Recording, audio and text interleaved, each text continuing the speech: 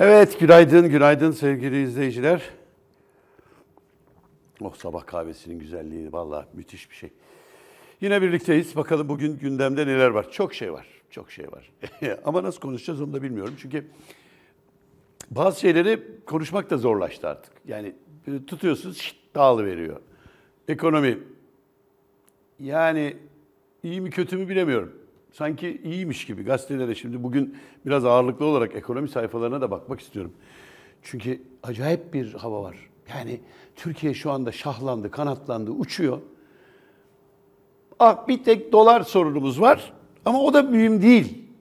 Yani zaten dolarla ne işimiz var kardeşim? Yani vatandaş dolar mı kullanıyor? O da mühim değil. Zaten Merkez Bankası yapıyor. Dış güçlerin oyunu. Yani bizle alakası yok. O dış güçler, e, işte Türkiye'yi batırmak isteyenler e, onu konuşuyorlar. Siz onu boş verin kardeşim. Bak muhalefet çok kötü. Çöktü, bitti, mahvoldular. Rezil oldular, kepaze oldular. O var, o var. Gazetelerde daha çok o var. Hepsi muhalefet. Ya da işte böyle eften püften haberler. Ee, şimdi hepsine geleceğiz. Bakayım başka neyimiz var mesela? Tabii önce CHP var ya. Biraz CHP'yi aslında konuşalım tabii yani CHP'de e, aşağı yukarı işler herhalde bitmiş gibi gözüküyor. Ha bitmiş dediğim yani bu imza numarası bitmiş oluyor. Çok ağır hasar verdi ama. Onu söyleyeyim yani Cumhuriyet Halk Partisi'ne ağır hasar verdi. Ha hak etti mi? Hak etti onlar da. Yani bu kadar da e, kötü yönetimle olmaz ki. Yani işi başından tutacaksın. Yani öyle madem oturduğun yemek yedin, o yemekte otur konuş yani. Ne söyleyeceksen söyle. Onları falan beceremeyince, işler böyle gidince. Yani bu e, insan ilişkileri tabii çok önemli. Bu böyle ne kadar uzaklaşırsan ve karşıdan atışlara başlarsan iş o kadar kötü gidiyor. Bir süre sonra da toparlayamıyorlar. İşte şu anda geldiği gibi. Ha ne oldu?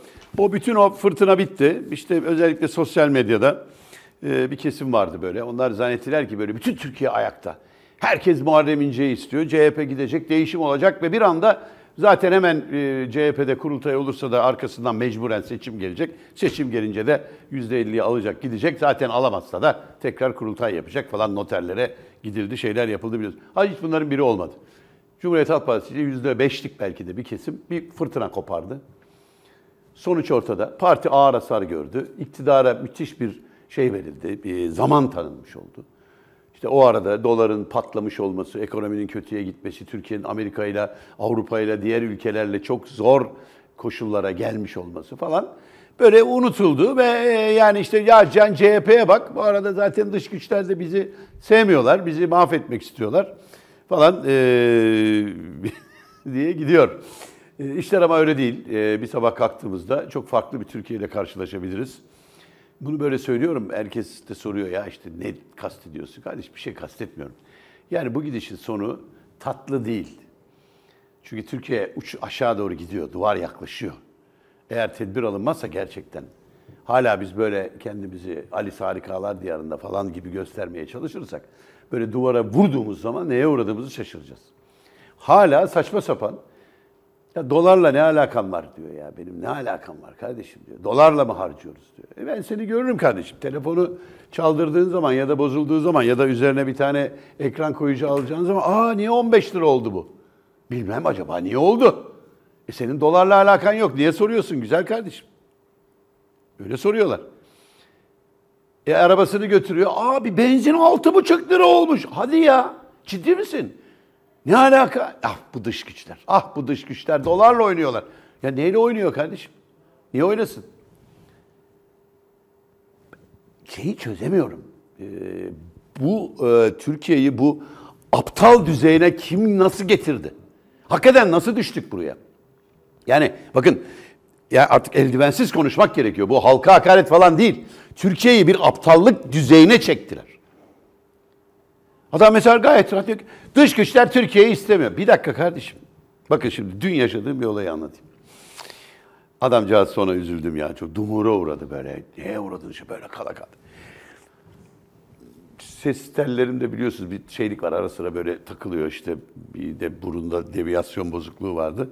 İşte söylemiştim benim e, sevgili doktorum Dilaver Özturanlı profesör. Ee, çok iyi baktı bana yani. Ama işte şimdi bu şeyi gidermeye çalışıyoruz biraz da. İşte neyse, e, dün e, ona uğradım. Çünkü bir iltihaplanma daha var hem kulak içinde hem de e, ses tellerinde. İşte onun tedavisi için gerekenleri söyledi. Oradan çıktım, metrobüse gideceğim. Yer biraz sapol, taksiye bindim. Taksici böyle yaptı, dedi ki dolar da dedi beşi geçti dedi. Ben şimdi hiç almaza böyle Allah Allah dedim. Fakat baktım şeyi söylüyor. Dedim hakikaten nasıl oldu ya bu dedim böyle iş kötü galiba dedim. Çok yükselmiş diyorlar dedim. Taksici dedi ki ya dedi işte Türkiye'ye dedi oynanan oyunlar dedi işte sonuçta dolarla böyle oynuyorlar. Aa dedim ciddi mi? Ya ben dedim anlamıyorum dedim. Çok ilgili değilim. Böyle laflar duyuyorum dedim hani bizi dış güçler istemiyor falan. Tabii dedi yani onlar yüzünden oluyor. Peki ne yapıyorlar dedim. Yani nedir bize yaptıkları?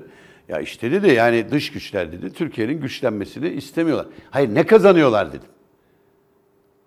Şimdi tabii şimdi sordukça bocalıyor çünkü cevabı yok. Şimdi bakın işte aptallık düzeyi dedim ya buraya getirdi. Yoksa insanların bir kabahati yok. Şimdi beyin yıkar gibi devamlı bir şey söylüyorsunuz. Efendim işte bunları dış güçler yapıyor. Bir, bir dolar lobisi var. Bunlar doları yükseltiyorlar. Biz bunları önce pabuç bırakmayız falan falan. Bir de içerik yok artık. Dış güçler böyle. Peki ne yapıyor? Dedim ki ya bak dedim yalnız benim anlamadığım bir şey var dedim. Yani çok ben dedim sevmiyorum ama bu konuları Hani dedim ben yani yurt dışında falan dedim çok yaşıyorum. Türkiye'de dedim artık Türk şirketi galiba kalmadı dedim. Bak dedim dört tane, üç tane dedim telefon şirketi var. Bir tane de dedim sabit. Hepsi dedim yabancı. E bankaların hepsi yabancı. İşte demir çelikli sanayiydi, otomotivdi bunların hepsi yabancı. E, limanlar yabancı, havaalanları yabancı. E, bütün dedim bunlar varken yurt dışındakiler niye Türkiye'nin zora girmesini istiyorlar onu anlayamıyorum ben dedim. Yani Türkiye'de bunu söylüyorlar da ben yurt dışında gidip gelince Allah Allah diyorum. Ya niye Türkiye'nin kötü olması? Adam bak dedim 400 küsür milyar mı ne borcumuz varmış. Şimdi böyle taksici beni dinliyor. E dedim bunu yani bu doları falan yükseltirse Türkiye bunu ödeyemez ki dedim.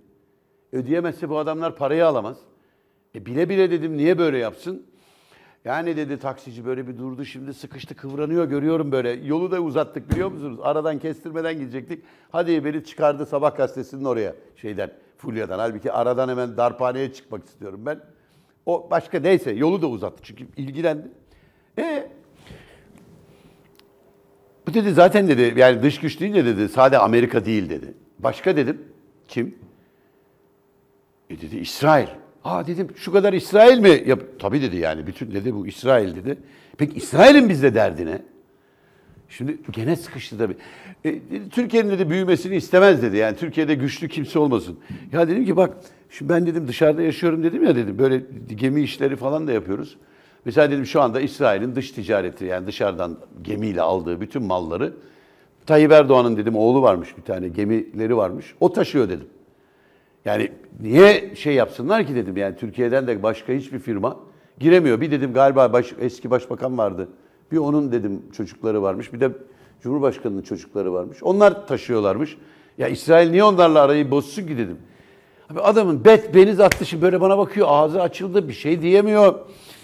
En sonunda varacağımız yere vardık. Dedim ki bak iniyorum. Bak kardeşim dedim. Şimdi bu kadar dedim konuştuk ama şunu bil. Dünyanın bizde oyun falan oynadığı yok. Bizi çekemediği falan yok. Türkiye son yılların en başarısız iktidarıyla karşı karşıya. Bak dedim, sen dedim anladığım kadarıyla saf, temiz bir insansın. Ve diyorsun ki yani ben ülkemi seviyorum filan. Sor bakalım dedim oy verdiğin adama bu milletin adı ne? Bayrak bayrak diyor. Bayrağın adı ne?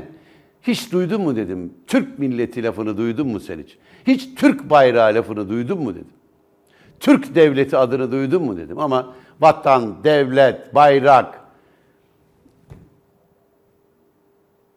İşte o an böyle adeta çöktü. Dedi ki, ya ben dedi bu İsrail işini bilmiyordum dedi. Oradan herhalde en şey onu geldi ona. Ne diyeceğim uzun lafın kısası. Türkiye'yi bir aptallık seviyesine indirdiler. Yani hakikaten Ay'a yol yapılacağına inananlar, inananlar var da bunlar hani milyonda bir ama işte Türkiye'nin dış güçler tarafından etkilendiğini, Türkiye'nin örselenmek istendiğini, cemaatçi denilen o ahlaksız alçakların hala darbe yapacağını filan söyleyip toplumu baskı altında tutuyorlar. Ve insanları bir illüzyon gösteriyorlar. Hiç efendim tamamen dış güçlerin oyunu. Dolarla da benim işim yok. Görürüm ben seni Kasım ayında. Dolarla işin var mı yok mu?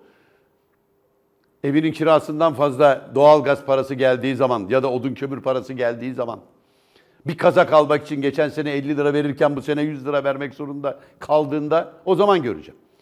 Ha efendim bunları böyle sevinç için mi? Hayır. Ama uyan be kardeşim uyan ya. Ya hala bana dolarla ne işin var diyorsun ya.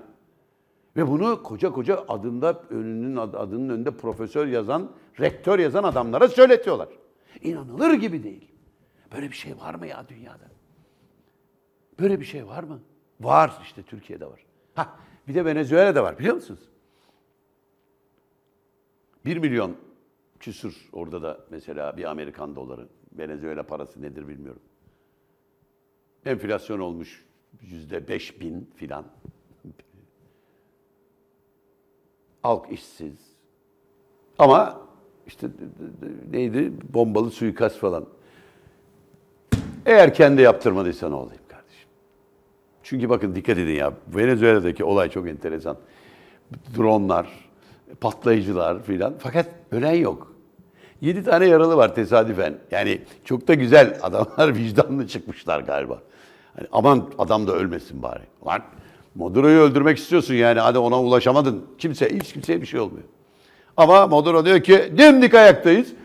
Bizim Türk basını da dik dur eğilme Venezuela seninle Türkiye arkanda. Hadi canım güzel Maduro. Niye bu kadar çok gidip geliyordu? Yani bayağı iyi şeyler öğrenmiş galiba. Neyse. İlk gazetemiz Sözcü. Efendim CHP yönetimi sonunda kararını verdi diyor. Kurultay yok. E biliyorduk. Muhalefetin olağanüstü kurultay talebi duvara tosladı. 622 delegenin imzası gerekiyordu. Genel merkez 590 kaç diyor ya bir dakika. 569 imza var. Kurultay yok dedi. 24 Haziran seçiminden sonra yönetimde değişim isteyen parti içi muhalefet genel merkeze 630 imza verdiğini duyurmuştu. Yönetim imzaları saydı. 569 geçerli imza olduğunu söyledi. 61 imza geçersiz çıktı diyor. Yönetim 31 delegenin imzası çektiğini, toplam 61 imzanın geçersiz olduğunu açıkladı. Muharrem İnce'nin ekibi kurultay yapmamak için sayılarla oynandı dedi. Şimdi YSK'nın durumuna CHP mi geçti yani? Ya sen o geceyi ortada bile yoksun. Şimdi kalkmışsın sayı. Allah aşkına. Kurultay için imza veren isimlerden Bolu Milletvekili Tanju Özcan 31 kişi imzasını çekmiş diyorlar. Hangi gerekçeyle imzalar çekildi? Tehdit mi edildi? Yani şimdi bakın CHP, ya bu iş bitecek de burada bitti. Ee, CHP'de bir değişim gerekiyor mu? Evet. Ama bu artık bu değişim. Genel başkanı da kapsıyor mu? Evet. Gidebilir genel başkan. Benim kişisel tahminim o. Şu vartayı atlattı. Şimdi önümüzdeki bir ay sonra kalkıp kendiliğinden kurultay diyebilir. Muhtemelen aday da olmayabilir. Bakın. Çünkü bakın sorun şu. Bana da kızanlar oldu. Ya sen Kılıçdaroğlu musun? Ya niye Kılıçdaroğlu'ndan ya da bilmem nereden yana olayım? Doğrudan yana olmaya çalışıyoruz bugüne kadar. Gördüklerimizi anlatmaya çalışıyoruz. Bunu da söylerken çekinmiyoruz. Efendim bu arada hata yapay. E yaparsın. Ne var? Sonuçta insanız yaparız. Her düşüncemiz doğru. Her görüşümüz haklı. Her inandığımız efendim en yüce falan değil. Olabilir. Yanlışlar da olabilir falan. Ama sonuçta durduğun yer önemli. Doğrunun yanında. İlkelerin olduğu yerde hukukun, demokrasinin, insan haklarından taraf olarak durmak. Şimdi Cumhuriyet Halk Partisi'ndeki sorun, daha doğrusu koparılan fırtına bir değişim olsun, kan değişikliği olsun değil. Sen gideceksin, ben geleceğim. Yok öyle ya ama. Bakın Muharrem İnce'den şu lafı hiç duymadık. Arkadaş Cumhuriyet Halk Partisi kötü bir gidiştedir. Bu işin hesabının sorulması lazım. Onun için bir kurultay toplayalım ve delege karar versin. Ben de adayım. Bunu dese amenna. Beni seçeceksin. E ben de adayım şimdi ne olacak? Hadi kurultay yapalım. Can Ataklı da aday. Lafın gerisi söylüyorum ha. Efendim Ahmet bilmem ne de aday. Şükran bilmem ne de aday. Eğer demokratik bir yarışsa, partiye taze kan gerekiyorsa öyle sen çekildin ben adayım ben se yok böyle bir şey kardeşim. Ve Cumhuriyet Halk Parti'den böyle sağa sola hakaret eden şimdi gitmişler oturma grevi falan yapanlar. Ya bir oturun önce bir bunu düşünün. Cumhuriyet Halk Partisi'nin ihtiyacı Muharrem İnce mi? Yoksa Cumhuriyet Halk Partisi'nin ihtiyacı yeni bir taze kanla bir değişim geçirerek Türkiye'nin gerçeklerine hakim, projeler üreten, vizyonu olan, Atatürk ilke ve devrimlerine bağlı, cumhuriyet değerlerine sahip çıkan, demokrasiden, hukuktan, insan haklarından yana gerçek bir siyasi parti mi olacak? Buna karar verin. Yoksa abi Muharrem gelirse kesin İstanbul adayı benim. Onun için mi destekliyorsun? Evet arka kardeşim. Şu anda o imzaları verenler bunun için destekliyor. Dışarıdaki vatandaş bak farklı. O vatandaş öyle zannediyor. Aynı vatandaş 24 Haziran'da Muharrem İnce'nin 50'yi geçeceğini falan da zannediyor. Çünkü o heyecanla gidiyor. Bir kabahati yok. O heyecanla işe asılıyor, mitingi görüyor, harika diyor falan. Onun için de şimdi diyor ki gitsinler yenisi gelsin. Dünyada bu tür bir anlayış yok. Olamaz yani demokratik olarak olamaz. Bu ancak işte bu tek adamlık, diktatörlük heveslileri.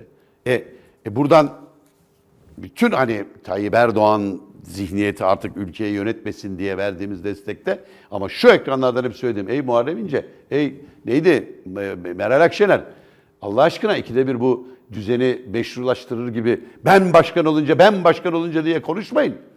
Siz eğer bir şekilde seçilirseniz ilk yapacağınız iş Türkiye'yi tekrar demokrasiye döndürmek, hukuk düzenine, insan hak ve özgürlüklerine geri çevirmek. Öyle ben başkan olacağım üniversiteleri para da yok öyle şey kardeşim. Kendinizi Ali Harikalar diyarında falan görmeyin. Bir başkan olayım bak göreceksin. Hepsinin hayali bu. Bakın kuru kampanya boyunca ne CHP'liler ne İyi Partililer hiç şeyden söz etmediler. Belki cılız ses çıktı. Hep bir seçileyim bak göreceksin. Çünkü niye? Efendim vatandaş böyle seviyor. Kardeşim vatandaşın sevdiğinin o kadar önemi yok orada. Çünkü o tür şeyler böyle popülist anlamlarla, oylamayla falan yapılmaz. Onlar insanların temel hak ve özgürlükleridir. Onları oylayamazsın. Ama Türkiye'de oylattılar. Ve maalesef ve maalesef tabii ki Yüksek Seçim Kurulu'nun da hilesiyle hurdasıyla Türkiye halkın oyuyla resmen demokrasiden vazgeçtiğini, insan hak ve özgürlüklerinin artık bir önemi olmadığını, hukuk düzeninin ise bir kişinin ağzından çıkacak cümlelerle oluşacağını kabul etmiş oldu. Fiilen bu oldu. İşte bunun geri döndürülmesi için destek verdik adaylara buradan. E şimdi sen kalkacaksın. Ben Cumhurbaşkanı olacağım. Olamazsın kardeşim. Olmayacaksın da zaten. Çünkü bu kafa Türkiye'yi felakete götüren bir kafa. Biz mevcudu var o zaman. Ben niye seni seçeyim ya? Hiç olmazsa iyi kötü Birleşmiş Milletler'in kürsüsünü bilen, Beyaz Saray'ı tanıyan, İngiltere Kraliçesini ziyaret eden, Çin'e giden, Zambiya'ya giden, Mozambik'e giden, Uruguay'a giden bir başkan var hiç olmazsa. Cumhurbaşkanı var. Ben ne diye şimdi seni bir daha mı yetiştireceğim ben? Yani bazen mantık falan gerekiyor değil mi? Ha, şimdi bitti. Şimdi bitti. Artık kurultay murultay yok. Ha, bir ay sonra var ama sen yoksun. Kusura bakmayın.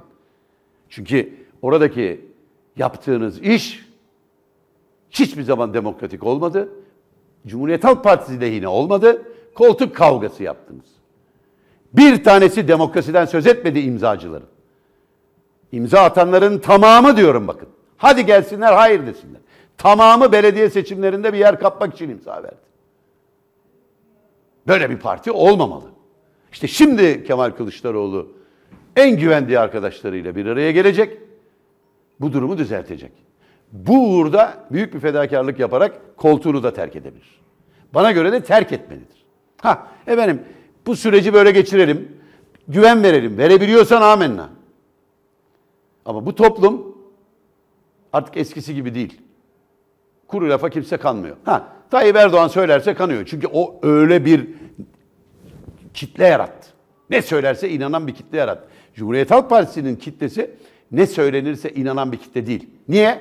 Eğitimli, aklı fikri mantığı var. Soruyor, sorguluyor, karşı çıkıyor, eleştiriyor ve bu yüzden hatta zaman zaman sevimsiz duruma bile gelebiliyor. Ama biat etmiyor. Şimdi sen biat edenlerle baş edemezsin. Aynı yöntemleri de kullanıp kendi seçmeninin üzerinde egemen olamazsın. İşte bunu anladığınız gün siyasette öğrenmiş olacaksınız. Ya da Türkiye'yi öğrenmiş olacaksınız. Ya da demokrat olmanın ne olduğunu öğrenmiş olacaksınız. Böyle hep faşist kafayla ben geleceğim, çakacağım, ben olacağım, ben yapacağım. Yok böyle bir şey. Bilmem anlatabildim mi? Onun için yani Cumhuriyet Halk Partisi'ndeki kurultay işi bitmiştir. Zaten işte bütün konuşuyor. Efendim şeyin önüne gideceğiz de gösteri yapacağız. Ama bak seçmen bile gelmedi. Gelmez. Çünkü sadece sosyal medyada azgın troller. Efendim Cumhuriyet Halk Partisi'de değişim olacak. Yoksa oy vermiyoruz. Verme. Verme. Yani ben genel başkan olsam aynen öyle söylerim. Verme kardeşim. Ne? Yani neyi tehdit ediyorsun? Eğer bu yönetim değişmezse bundan sonra Cumhuriyet Halk Partisi oy yok. E yok. Onun için işte burada çırpındık. Alternatiflerin çıkması lazım diye. Verecek yerinde yok. İşte vermezsin. Ondan sonra şikayet edersin. İlk ezilen de sen olursun kardeşim. Kusura bakma. Onun için tavrını koyacaksın.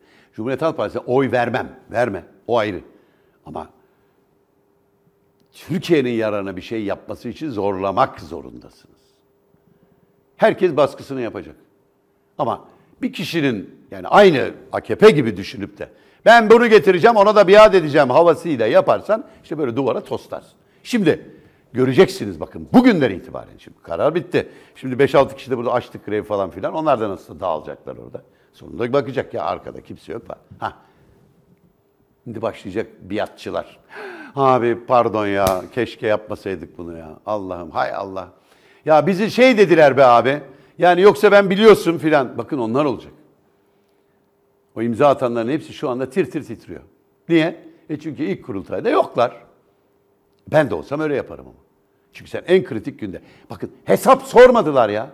Ya imza verenlerin hiçbiri 24 Haziran'da ne oldu sorusunu sormuyor kardeşim. Böyle bir mantık olur mu? Allah aşkınıza sorun etrafınızdaki CHP'lilere, hele imza atanlara. Ya sen 24 Haziran sordun mu kardeşim? Ne oldu? Niye sandıklara sahip çıkamadın? Niye sormuyorsunuz hala? Ne oldu kardeşim? Sen tek tek sandıklardan aldın mı? Adamların verdiği rakamlar doğru mu? İrdelediniz mi? MHP hiç oy almadığı yerlerden nasıl patlama yapmış? Mantıken diyorlar ki efendim işte AKP'den kopanlar, şimdi öyle bir şey var. Ya MHP nasıl oldu? Canım işte AKP'nin gidişatını beğenmeyenler MHP'ye oy verdiler. İşte AKP'de 42'ye düştü. Zaten 42'deydi. Yani o 1 Kasım'a bakmayın 7 Haziran'da zaten 42'ye inmişti. Daha da inecekti. Ha benim derdim o değil. Her yerde olsa bu kabul. Hayır MHP'nin oyu belli yerlerde. Bir ilin bir ilçesinin 15 sandığında patlama yapmış. Ya mesela İstanbul'un tamamında düşerken nedense Samsun'un bilmem neresinde yükseliyor. Kahramanmaraş'ta, Bitlis'te, Muş'ta, Siirt'te yükseli veriyor. Niye? E bunu mesela sorsanıza. Ben mi soracağım bunu? Soruyoruz burada. Bizi ciddiye almıyorlar. Partilisin sorsana.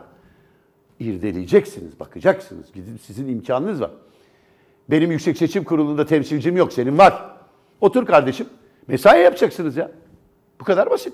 Mesai yapacaksınız. Çalışacaksınız bir parça. Öyle yok.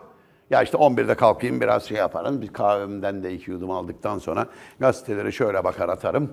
E sonra bir çıkar. Yok öyle şey. Sabah 7'de gideceksin Yüksek Seçim Kurulu'na. Oturacaksın. Çalışacaksınız. İş bu. Beni de tatmin edeceksiniz. Ben kimim? Ben bu milletim. Tatmin etmek zorundasınız. Bana anlatmak zorundasınız. Biz seçimi şu şu şu nedenlerle evet. Adam kazandığıyla olmuyor bu iş. Ayıp. Efendim vekillerin işleri azaldı ama masrafları çoğaldı diyor. Ben burada hep anlatıyordum. Hani diyorum ya bu çöp haline geldi artık. Parlamentoda hiçbir anlamı yok. Biz ne oldu? 450 milletvekili yerine şey 550 milletvekili yerine 600 milletvekiline maaş ödeyeceğiz. İşte 10 20 bine yakın maaşı var. İşte ben şeyi diyordum sekreterleri, danışmanları, şoför filanla beraber daha da meğer yüksekmiş. 600 milletvekilinin devlete aylık maliyeti 33 milyon lira, yıllık maliyeti 400 milyon lira. Şimdi vekiller 20.646 lira maaş alıyor. Her vekilin iki danışmanı ve bir sekreteri var. Bunlar için toplam 24.450 lira ödeniyor. Ayrıca sağlık, haberleşme, diğer giderleri de 10.500 lira tutuyor.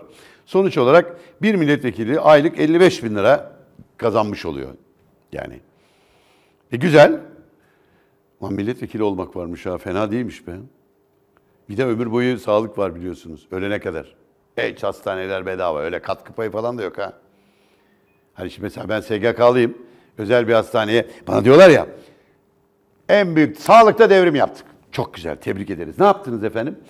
Ee, istediğin hastaneye gidebiliyorsun. Öyle özel mözel yok. İstediğin profesöre de muayene oluyorsun. Çok güzel. Yaşasın. Gidiyorsun. Aa, her şey paralı orada. Katkı payı. Profesöre muayene oldun. E, e 200 lira profesör parası var. E kardeşim şey, ama hayır profesör parası 300 lira aslında ama 100 lirasını devlet ödüyor. Sen 200 lirasını sen ödüyorsun. E, tahlil, e, hastanede yaptırsaydın tahlili devlet hastanesi bedavaydı ama burada 2000 lira tutuyor. İşte 1600'ünü ben ödüyorum ama sen 400'ünü ödüyorsun falan. Ufak bir muayene için bir giriyorsun 4-500 lira para. Onun için yani milletvekilinin bu da yok. Gidiyor herhangi bazen profesör, profesör yok. İster profesör, ister doçent, ister efendim pratisyen hekim olsun. Beş kuruşsuz çıkıyorlar. Yani kanun da yapmayacaklar, soru da sormayacaklar, hükümete güven oyu da vermeyecekler. Ankara'da koca bir bina, onun ısıtması bile müthiş. Halbuki mesela mecliste olmasa ne olacak? Ne fark edecek yani? Tamamen oyun biliyor musunuz şu anda? Türkiye Büyük Millet Meclisi'nin olması. Bir vekiller evlerinde otursa mesela, bu sekreter mekreterlerden bir çoğunası mesela kurtulsak, yarı yarıya düşürsek. Mesela 55 bin liraya geliyor ya, normal sade maaşlarını alsalar, evlerinde otursalar, ayda bir kere de işte Ankara'daki otellerden birinin konferans salonunda toplansalar ne olacak yani? Bir şey yapmayacak ki. Ya kanun mu çıkaracak? Yok. Ya kanunu çıkaracak zaten Tayyip Erdoğan çıkarıyor. Gerek yok. Hala parlamentonun kanun çıkaracağına inananlar ve bunu söyleyenler var. Denetim yapıyor diyor. 401 milletvekili bulursan. ya tam bir komedi ülkesi olduk ha. Hiçbir işe yaramıyor. Şu anda vatandaş olarak ben daha rahatım biliyor musunuz? Çünkü bilgi edinme kanunuyla daha çok şey sorabiliyorum. Milletvekili milletvekili olarak soramıyor. Onlar da benim gibi sıradan vatandaş olarak bilgi edinme kanunundan yararlanarak belki efendim e, bu Cumhurbaşkanlığı Sarayı'nın elektrik masraflarından kaç lira benim hanemden gidiyor sorusunu ben soruyorum ama milletvekili olarak soramıyor çünkü yasak. Ama bunu anlattık bir buçuk sene önceden.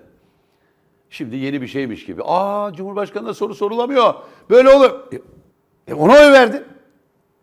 Say. Neyse geç. Başka ne var? ABD'li papazın uçurduğu doları merkez tutamadı. Hmm. ABD'li papaz mı uçurdu doları? Güzel. Peki. Efendim gelelim korkusuz benim gazete. Dün yoktu. Dün gecikmişti ben alamadım gelirken.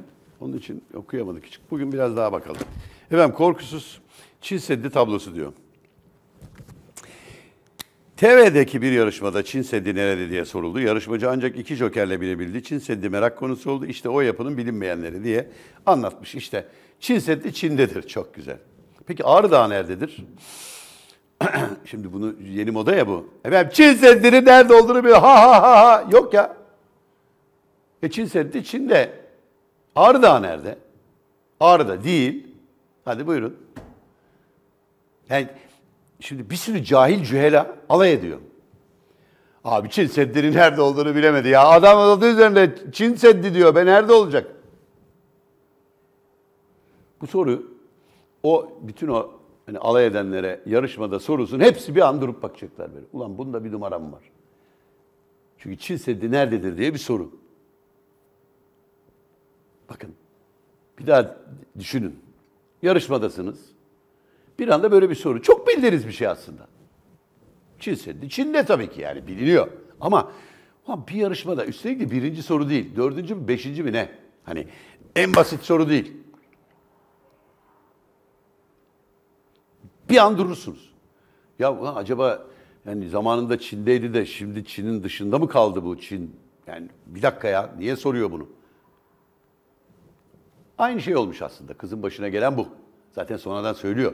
Diyor ki ya bu kadar yani bir an diyor durdum yani bir şey mi bir bilgi eksikliğim var. İşte onun için soruyorum. İşte Türkiye'de de sorsak bugün sokağa çıkın Ağrı Dağı nerededir? Yüzde 99.9 Ağrı diyecek. Oysa Ağrı'da değil. Iğdır'da. Ha efendim 10 sene öncesine kadar Ağrı'dı. Şimdi Iğdır. Neden? Iğdır il, ili kurulunca onun sınırları içinde kaldı. Ancak Yine Ağrı Dağı deyince Ağrı'ya gittiğiniz zaman Ağrı Dağı'nı göremiyorsunuz. Ağrı'ya indikten sonra 100 kilometre daha doğuya doğru gidip Doğu Beyazıt'a vardığınızda ancak Ağrı gözüküyor. Yani Ağrı'dan bakılınca Ağrı Dağı gözükmüyor. Ha, Zaten adı da Ağrı değil, Ararat. Fakat Ararat adı. Aynı zamanda çünkü Ağrı'nın diğer etekleri Ermenistan'ın içinde. Ararat Ermeni adını e, çağrıştırdığı için Ararat adını Ağrı olarak değiştirdiler. Neden? İlin adını verdiler. Aslında Doğu Beyazıt Dağı. Çünkü Doğu Beyazıt'ın dibinde. Hadi Bayezid Dağı diyer. Ama Ağrı dedik. Yüzyıl savaşları kaç yıl sürdü? Şimdi hadi yarışmada sordular. Tarihteki ünlü yüzyıl savaşları kaç yıl sürdü? Hadi hesaplayın. 116 yıl sürdü. Ne olacak şimdi? Kanarya Adaları'nda da hangi hayvandan geliyor? Hadi bakalım. Çin Seddi gibi soru. Kanarya Adaları'nın adı hangi hayvandan geliyor? Tak Kanarya değil mi? Değil. Kanarya Latince fok demek. Fokların adası. Daha ne vardı bakayım? Heh. Ünlü komünist devrim değil mi? Ekim devrimi, Ekim devrimi. E niye Kasım'da kutlanıyor peki? Mesela gene bu yarışmada öyle bir soru gelse. Ekim devrimi hangi ayda yapılmıştır? Şimdi var mı yani? Bana bir sorun. Şimdi bu kızcağızla alay eden o çok allameler. Hayır ver için seddini bilemiyor. Ya Türkiye'nin eğitim sistemi mahvolmuş kardeşim falan diyenler. Ha mahvolmuş ayrı. Ama yani oradan hareketle bunu söyleyenlere Ekim devrimi hangi ayda yapılmıştır? Hadi bakalım. Kasım. Niye? E biri Julian takvimi, öbürü miladi takvim. Çarlık Rusyası Julian takvimini kullanıyordu. Sovyetler de yani Sovyet devrimi olduğunda, komünist de, devrim yapıldığında Julian takvimine göre Ekim. Onun için literatüre Ekim devrimi diye geçti. Sonradan Sovyetler Birliği miladi takvime geçince Kasım oldu kutlamalarda. Kasım'da yapılıyor. Ama yine onlar Ekim devrimi diyorlar. Yani çok örneği var onu demek istiyorum. Yani şimdi bunlar olunca örnekler bir anda yani şimdi burada aramızdaki sohbette Çin Seddi'de tereddüt bile etmeden Çin dersin ama yarışmada sorulunca şüpheye düşülebilir. İşte aynı Panama şapkasını kim icat etmiş? Panamalılar. Yok ya Ekvatorlular. E niye Panama? E ne bileyim işte. İlk Panama'da kullanmışlardı ondan. Yani anlatabiliyor muyum? Hepiniz bu açıdan düşünün. Yani şimdi bu kıza bu kadar saldırı var. Şimdi iki tür saldırı var. Yani bir şeyden dolayı var. Ee, işte kıza bakıyorlar. Bu özellikle yandaş şey takımı. Ya işte bunlar hepsi cahil be kardeşim ya filan. Çok biliyorlar. Öbür tarafta Türkiye'de eğitim sistemi. İkisi de değil. Eğitim sistemiyle alakası yok bunun. Ya kendimizi kandırmayalım efendim. Eğitim sistemi kötü olduğu için Çin Seddi bilinmiyor değil. Eğitim sistemi kötü olduğu için bugün ülkenin yarısı bir atçı. Eğitim sistemin getirdiği nokta o. İşte onun için özellikle son 15-20 yıldır Türkiye'den sanatçı çıkmıyor, bilim adamı çıkmıyor. Efendim düşünür çıkmıyor, yazar çıkmıyor, gazeteci çıkmıyor. Çıkmıyor da çıkmıyor. Yoksa eğitim sistemi kötü, Çin Seddi'ni o yüzden bilemiyoruz. Yok öyle şey. Çin Seddi'ni bilememenin tek sebebi bu. Bir an şaşırıyorsun lan acaba bana bir tuzak mı bu? İşte sordum sorulara cevap verin. Hani 100 yıl savaşları kaç yıl sürmüştür? Hadi size soru. Kanarya Adaları hangi hayvandan almaktadır adını? Şimdi burada benim köşede bugün yazdığım bir yazı var. Başka gazetelerde yok çünkü dün böyle bir hani dalgalanma oldu. Sonra herkes bozum oldum diye de sustu oturdu. Şimdi olay şu. TRT Çocuk kanalında e, Maya ve yok Maysa ve Bulut diye bir e, şey çizgi film. Bu çizgi filmin bir sahnesinde e, bir adamın eşekle cinsel ilişkiye girdiği sahnesi var. Kıyamet kopardılar işte bu şey. Hakikaten seyrettim. Ben de yani basıyorsun şimdi şey. İnanılır gibi değil. Sonra işte bunun üzerine işte sosyal medyada şeyler başladı. Siteler haber, TRT'de skandal falan filan. Böyle bir 2-3 saat sonra TRT'den bir açıklama geldi. Ağırlaştırılmış ve arındırılmış görüntü. Yakınlaştırılmış. Yakınlaştırıldığında görüyorsun ki adamın biri eşeğin alt tam arkasından eliyle itiyor. İtmeye çalışıyor. O arada fırtına var. Adamın şalvarı ve eşeğin sırtındaki tüyler uçuşuyor. Şimdi tamam. Ama bakın bu neye benziyor biliyor musunuz? Bu absürt komedi filmlerinde vardır. Böyle arka biri gelir bir şey görür zanneder ki çok iğrenç bir cinsel e, olay var. Zanneder. Halbuki bambaşka bir şeydir yani. Bu tarafa geçince aa filan gülersin. Bak. Ama şimdi burada Erman Toroğlu'nun kulakları çınlasın. Oynat Uğur'cum hani diyordu ya. Şu pozisyona bakalım bir kere daha biraz geri al. Yavaşlat dur filan. Ya hakemin 2-3 saniye içinde gördüğü hareketi sen burada 5 dakikaya yayıp böyle kare kare kare bak gördün mü offside yok burada diyor mesela. Bu da öyle olmuş. Şimdi fırt, fırtına var. Yağmur yağıyor. Baktığın an dünyadaki bakın iddia ediyorum. Eğer meraklısı varsa şimdi açsın baksın. TRT'de skandal diye yazsın şeye. Yani seyretmemiş olanlar. Dünyadaki bin kişiden bir kişi ya da iki kişi. Aa burada e, şey yok bu rüzgar üfürüyor bunları der. Onun dışında kim baksa o görüntüye tek aklına gelen budur. Yani aklına gelen değil gördüğü odur. Hani zihinde olan bir şey değil. Anlatabiliyor muyum? Şimdi bu. Şimdi bu, bunu çizen var, kurgulayan var, hareketlendiren var, yönetmeni var filan. Bunu bir kere bile seyretsen gördüğün an ya ne çizdiğini biliyor adam. Ama görüntüyü gördüğü an demesi lazım ki yok burada şey var. Ya yani yanlış anlaşılabilir. Bu, bu sahneye çıkaralım ya da bunu başka türlü yapalım. Ayrıca bir şey söyleyeyim. Yani köy yerinde hiç yaşamamışlar herhalde. Ya eşekler hiçbir zaman arkasından itilerek ahıra sokulmaya çalışılmaz. Yuları vardır. Yuları çektin mi gelir. Nadiren ayak diretir. İşte o zaman çekersin. O eşek inadı dedikleri de odur. Hiçbir zaman arkasından iterek eşek e, içeri sokulmaya çalışılmaz. Ha şimdi ne oldu diyorum. Diyorum ki ben de TRT, ha TRT'nin açıklaması Allah işte bunların sapık düşünceleri filan. Kardeşim yani bunların sapık düşünceleri falan yani şimdi oraları geçelim. Yani konuşmayalım. Çocuk tacizlerini bilmem neleri en çok nerede olduğunu biliyoruz. Ama şimdi birdenbire böyle bunlar zaten sapık düşüncelerin şeyleriyle TRT'yi küçük düşürmeye filan. Ya gerek yok kardeşim. Dersin ki görüntünün aslı bu. Hiçbir şekilde bunun polemik gereği falan yoktur. Ay bunlar sapıklar. Ha, şimdi ben de diyorum ki TRT bunu kasıtlı yaptı kardeşim. Çünkü iyice konuşulmaya başladı TRT. İçerideki yolsuzluklar, yapılan hırsızlıklar yayılıyor. E, Zorla emekliye sevk etmeye çalışıyorlar beğenmedikleri adamları. Kendilerinden olmayan herkesi. Kalite düştü. Seviye yerlerde sürünüyor. Berbat bir hale geldi TRT. Açık söylüyorum. İşte şimdi buna karşı belli ki yeni bir şeyler böyle bir atağa kalkıyor yani şeyler. Çünkü başka anlamı yok. O görüntüyü kim yaydı mesela bilmiyoruz. Hala Fethullahçılar demediler.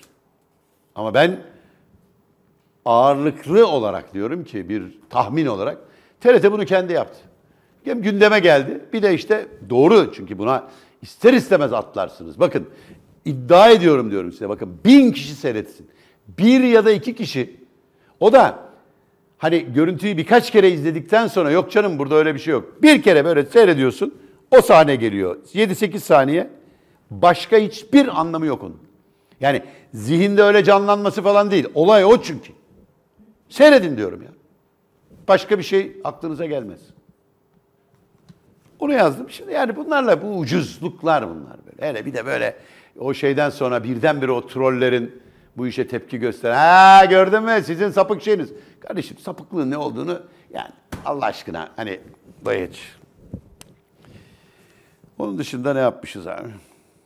Ha şimdi bu papaz haberi var. Star'da geleceğim ona. Ben yani yazdığım bir yazıyı Star bugün manşet yapmış yani. Bu papaza müthiş ihtimam gösteriliyor.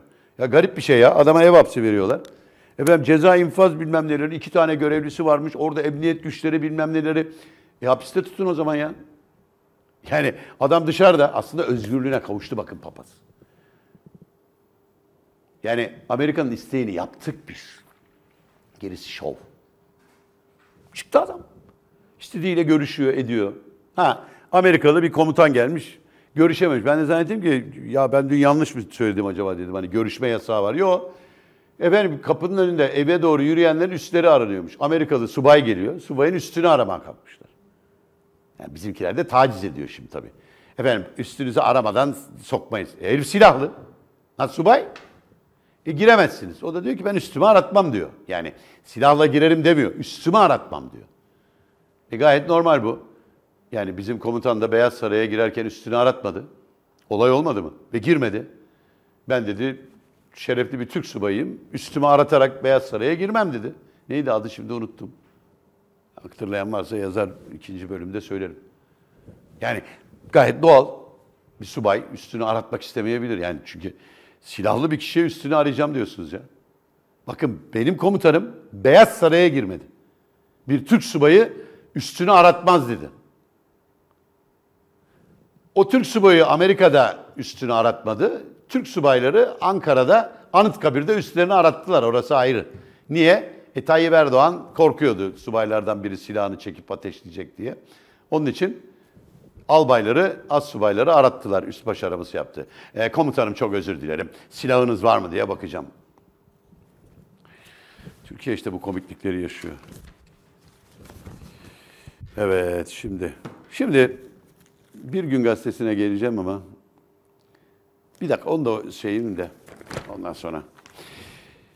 Bir gün gazetesinin manşeti bu kriz yastık altı politikasıyla bitmez diyor. Yastık altı dövizlerinizi bozdurun çağrısıyla çözüm bulmaya çalışılan ekonomik sarsıntı TL'nin değer kaybıyla sürüyor. Kriz büyüyor diyen Profesör Doktor Yalçın Karatepe olası riskleri şöyle sıraladı diyor. Bir, enflasyonda artış sürecek. Enflasyon önümüzdeki dönemlerde artmaya devam edecek çünkü kur enflasyon geçişkenliği oldukça yüksek. Özellikle üretimde ithal girdinin yüklü miktarda kullanılıyor olması maliyet kaynaklı enflasyonun artarak devam edeceğini gösteriyor. İki, borçlar riski artırıyor.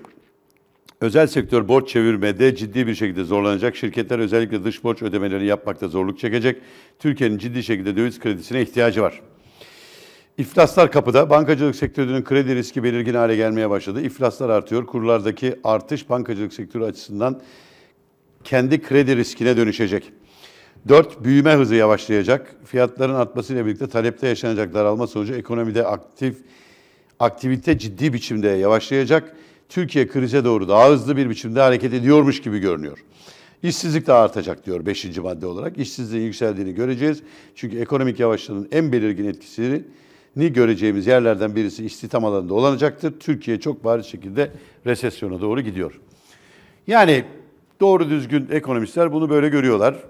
Tedbirleri var mı? Mutlaka vardır. Yani o konuda ben de ne sihirbazım ne bir şeyim. Ama e, tedbir mutlaka vardır. Benim anlamadığım birkaç böyle halkı kandıran söylemler var. Mesela işte biri biraz önce söyledim. Efendim vatandaşın dolarla ne ilgisi var? Sanki dolarla iş yapıyor. Aa, çok güzel laf. Derin laf, manalı. Çok manalı konuştun. İkincisi de efendim dış borç, dış borç. Özel sektörün, devletin değil ki. Ya hayatımda daha aptal bir laf yok biliyor musunuz? Ekonomik anlamda. Efendim o kredi, şey borçlar özel sektörün. Tamam peki. Özel sektör nasıl ödeyecek? Yani bırak devlet garantisi var diye geçiyorum. Yani kandırmacanın en önemli lafı o. Hepsinde devlet garantisi var. Ama kardeşim senin özel sektör borcu diye küçümsediğin ya da bana ne ya özel sektör ödesin dediğin senden kaynak çekmek zorunda. Nasıl ödeyecek? Dövizi satın alacak. Dövizi piyasadan döviz satın aldıkça mecbur. Çünkü döviz kazandıracak bir üretimi yok ki dövizle borcunu ödesin. Piyasadan döviz çekecek. E piyasadan döviz çektiği zaman döviz fiyatları yükselecek, enflasyon o oranda artacak, ekonomik yansımaları olacak, e devleti yönetmek daha zorlaşacak. Yine ne palavra sıkıyorsun şimdi bana? Geç. Efendim onun dışında ne var? Bakıyorum. Çocuklar için çığlık olalım diyor. Ee, veliler, öğrencilerin işte bu LGS sınav sonuçları. CHP'de kurultay yok. İyi Parti'de istifa depremi. Bu her partide milletvekili olamayanlar hep e, baş kaldırıyorlar. O, olanlarsa hiç ağızlarını açmıyor. O da ayrı bir olay. Şimdi Erdoğan'ın kozu ne diyor burada? Ha bir şey var. Ona bir okuyayım bakın. Erdoğan'ın kozu ne diyor? Erdoğan neden ipleri germeyi tercih ediyor? Bu konudaki değerlendirmeye geçmeden önce isterseniz 3 Ağustos günü Financial Times'ın Türkiye'ye bir yılda 200 milyar doların üzerine yabancı finansmana gereksinim duyarken ABD ile krizi kaldıramaz yorumunu hatırlatalım. Şimdiden söyleyelim. ABD'nin başta Suriye bölgedeki varlığına itiraz etmeyen tam tersine Esad'la niye daha çetin savaşa girmiyor diye eleştiren bir zihniyetten anti-emperyalizm çıkmaz. Yani işte hep burada anlatıyorum ya aslında Tayyip Erdoğan hiç Amerika'dan ayrısı gayrısı yok ya. Ve Amerika muazzam destek veriyor. Aman Tayyip Erdoğan'a bir şey olmasın diye. Bütün bu oyunların sebebi o biliyor musunuz? Çünkü Amerika istemediği hiçbir şey olmuyor ki. Amerika ne istiyor da yapmıyoruz ya. Bakın 2-3 aydır soruyorum bu ekrandan. Daha bir tane cevap gelmedi ya. Amerika ne istiyor da yapmıyoruz. Hangi oyununu bozuyoruz? Yok böyle bir şey. Ama laf çok güzel. Efendim Amerika'nın hiçbir isteğini yerine getirmiyoruz. Hangilerini getirmiyoruz mesela? Söyle söyle. Hmm. Bu İsrail var ya bu İsrail. Öyle oluyor iş. Ayrıca da İsrail var ya İsrail. Ne olmuş İsrail'e? Kudüs'te başkent ilan edildi mi edildi. Amerika elçiliğini koydu mu koydu. Sen kabul edilemez dedin mi dedin. Kabul ettin mi ettin. Daha ne konuşuyorsun be? Ha? Ne oldu Kudüs Kudüs? Ne oldu İsrail elçiliğine hadi gitsenize. Ne oldu? Hani Kudüs kabul edilemez. Asla biz bunu etmiyoruz. Evet, hadi. Kudüs orada. Elçilik de orada. Sen ne yaparsın? İşte türbanlı kızları gönderip orada olay çıkarttırırsın. Peki ne götürmüş o kız peki? Sen onu niye hiç yazmıyorsunuz? Geçelim. Efendim Aydınlık Gazetesi, Yeni Siyaset. Aa onlar Atatürkçülük gene başlamışlar. Evet. FETÖ'nün bitirilmesi için yeni siyaset. Kocaman bir şey. Allah Allah diyorsun. ABD güdümlü FETÖ'ye karşı mücadelede artık yeni siyasetler belirlemenin zamanı gelmiştir. Bu siyasetler FETÖ'ye karşı yürütülen mücadelelerin kazanımları üzerinde yükselecektir. Cemaat ve tarikatların ana düşenleri kurtarmak için tek seçenek vardır Atatürk devrimciliği. Yani şimdi AKP tarafından böyle bir yani filan gene bir Atatürkçülük dönemi başlamış. Neyse şimdi bir şey diyeceğim. Aradan zaman geçti ama ben tabii ekranda yoktum. Ee, tekrar tartışılınca canım da biraz sıkıldı ama ee, Kemal Sunal biliyorsunuz 3 Temmuz'da kaybetmiştik 2000 yılında. Ee, Türkiye'nin hakikaten çok önemli usta sanatçılarından biri. Tam kaç film var? 82 filme imza atan. Türkiye'nin en sevdiği e, sanatçılardan biri. Sadece absürt komedi filmleriyle değil. Çok içeriği güçlü, dram niteliğindeki e, sinema filmleriyle de herkesin gönlünde taht kurmuş. Çok önemli bir isimdi. Ee, işte kaç yıl oluyor? 18 yıl önce kaybetti. 44 doğumluydu. Yani yaşasaydı bugün 70 küsur yaşında olacaktı. Ve zannediyorum hala e, sahnelerde olacaktı. Zaten kökeni tiyatroydu. Şimdi çok hoşuma giden bir görüntü var. Yani Kemal Sunal'ı anmak için hazırlanmış böyle bir bir dakikaya yakın bir görüntü. Hem gülüyorsunuz hem hüzünleniyorsunuz. Bu büyük oyuncuyu bir kere daha hatırlayalım istedim. Kemal Sunal'ın o görüntülerini yani hazırlanmış e, videoyu bir izleyelim birlikte. Ben gene Şaban olacağım. Olmaz olmaz Şaban yok artık. Şaban öldü. Yok canım. Ne zaman öldü? Vah vah. Ben çok iyi adamdım ya.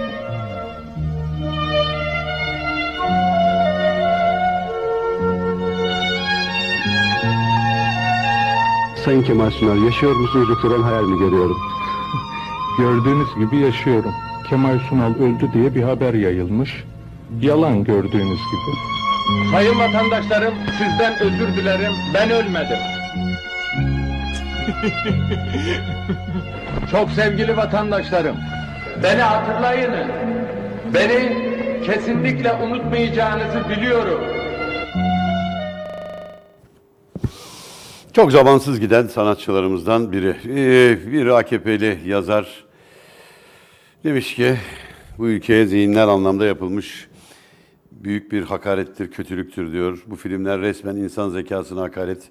Çünkü alternatifi yoktu diyen biri. Ne diyeyim?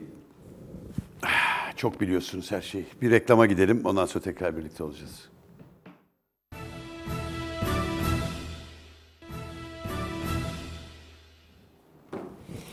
Evet, devam edelim. Ee, şimdi tam tahmin ettiğim gibi tabii. Dedim ya bir Türk generali Beyaz Saray'a girerken üzerine aratmamıştı. Adını o anda hatırlayamadım. Tabii e, sağ olsun siz değerli izleyiciler e, hemen bilgilendiriyorsunuz. Orgeneral e, Ergin Saygun e, Washington ziyareti sırasında e, Beyaz Saray'a girerken üstünü aramak isteyince bir Türk subayı üstünü aratmaz deyip geri dönmüştü. Evet şimdi gelelim e, yandaşlardan Türkiye Gazetesi'ne. Memleketin en önemli sorununu manşet yapmış muhalefet çöktü. CHP ve İyi Parti koltuk kavgasına gömüldü. 24 Haziran'da Türkiye'yi yönetmeye talip olan muhalefet ülkeyi unuttu, kendi derdine düştü. E güzel. Yani bunca sorun, ülke gidiyor, ekonomi mahvolmuş ama o harika, çok güzel her şey ama muhalefet battı. Battıysa battı o zaman. Niye bu kadar yani hani sevinç de yok. Sanki çok üzülmüş gibiler falan. Batsın peki. Efendim başkan takipte Türkiye alternatifsi olmadığını gösterdi. Erdoğan'ın katıldığı BRICS zirvesini değerlendiren dış politika uzmanları Türkiye doğru yolda dedi. Ziyaretin Batı ülkelerinin hegemonyasını sona erdirme amacı taşıdığını belirten uzmanlar, finans baskısıyla sindirilmek istenen Türkiye, savunma, enerji ve teknoloji, bankacılık, yatırım, yabancı yatırım konularında alternatifsi olmadığını bütün dünyaya gösterdi. Görüşünde birleşti. Çok güzel haber. Kimmiş bu? Dış politika uzmanları. Kimler? Heh, Ankara Yıldırım Bayezid Üniversitesi İnsan ve Toplum Bilimleri Fakültesi Tarih Bölümü öğretim üyesi ve Ankara Rusya Araştırmaları Enstitüsü Başkanı Profesör Doktor Salih Yılmaz demiş.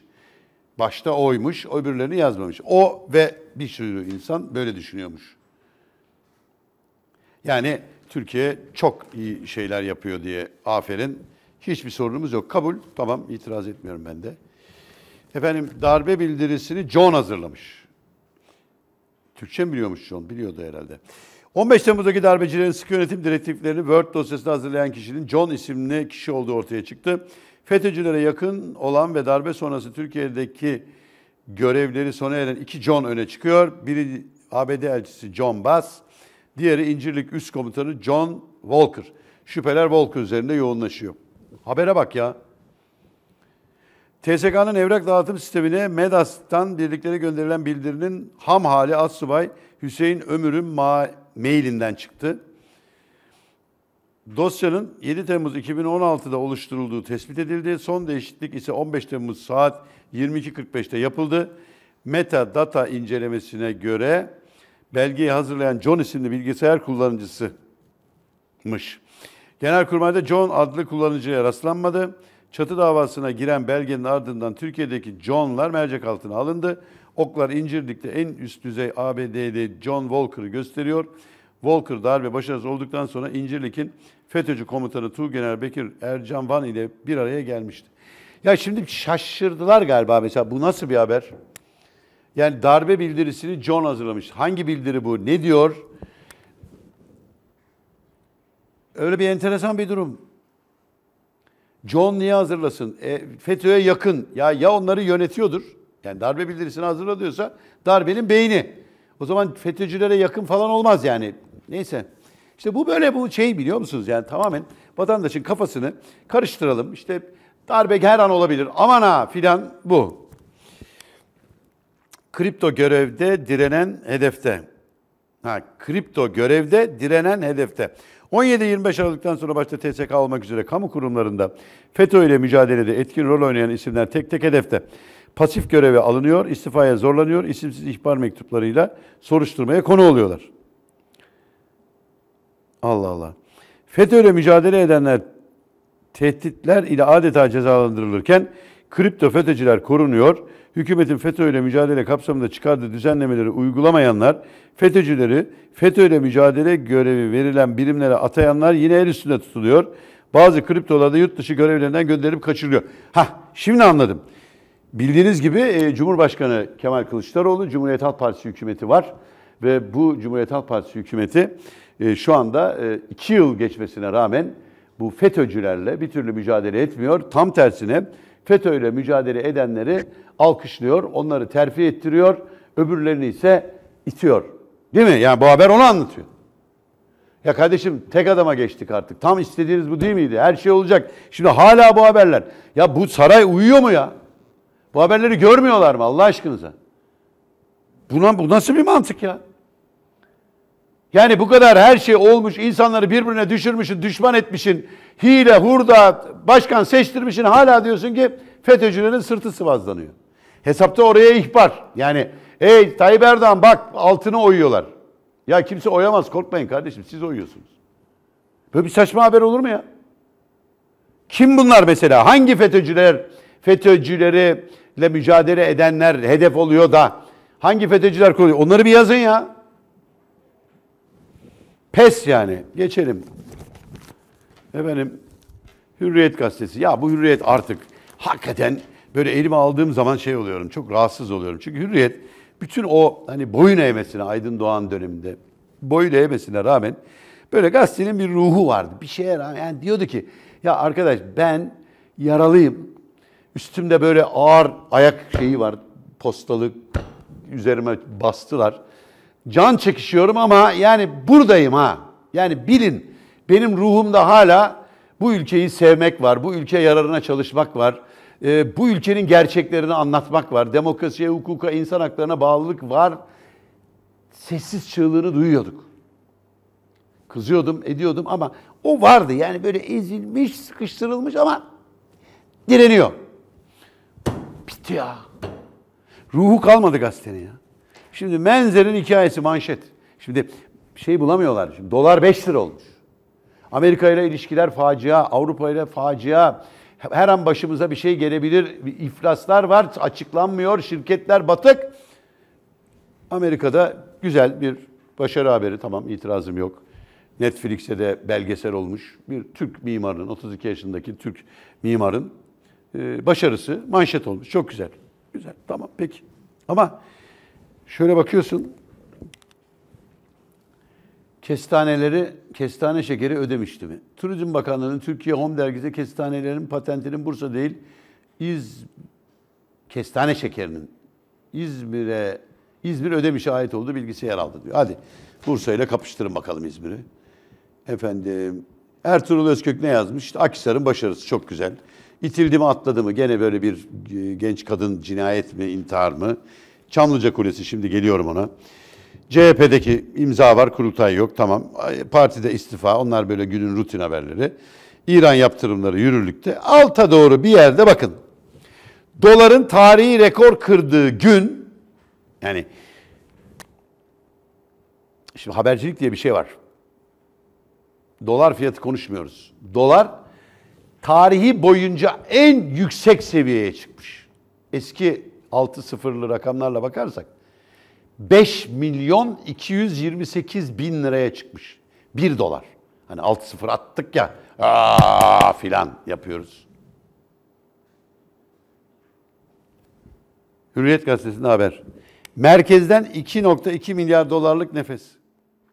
Merkez Bankası bankaları zorunlu karşılık zorun karş, zorunlu karşılıklarda rezerv opsiyonu mekanizması kapsamında döviz imkanı oranını %45'ten 40'a düşürdü.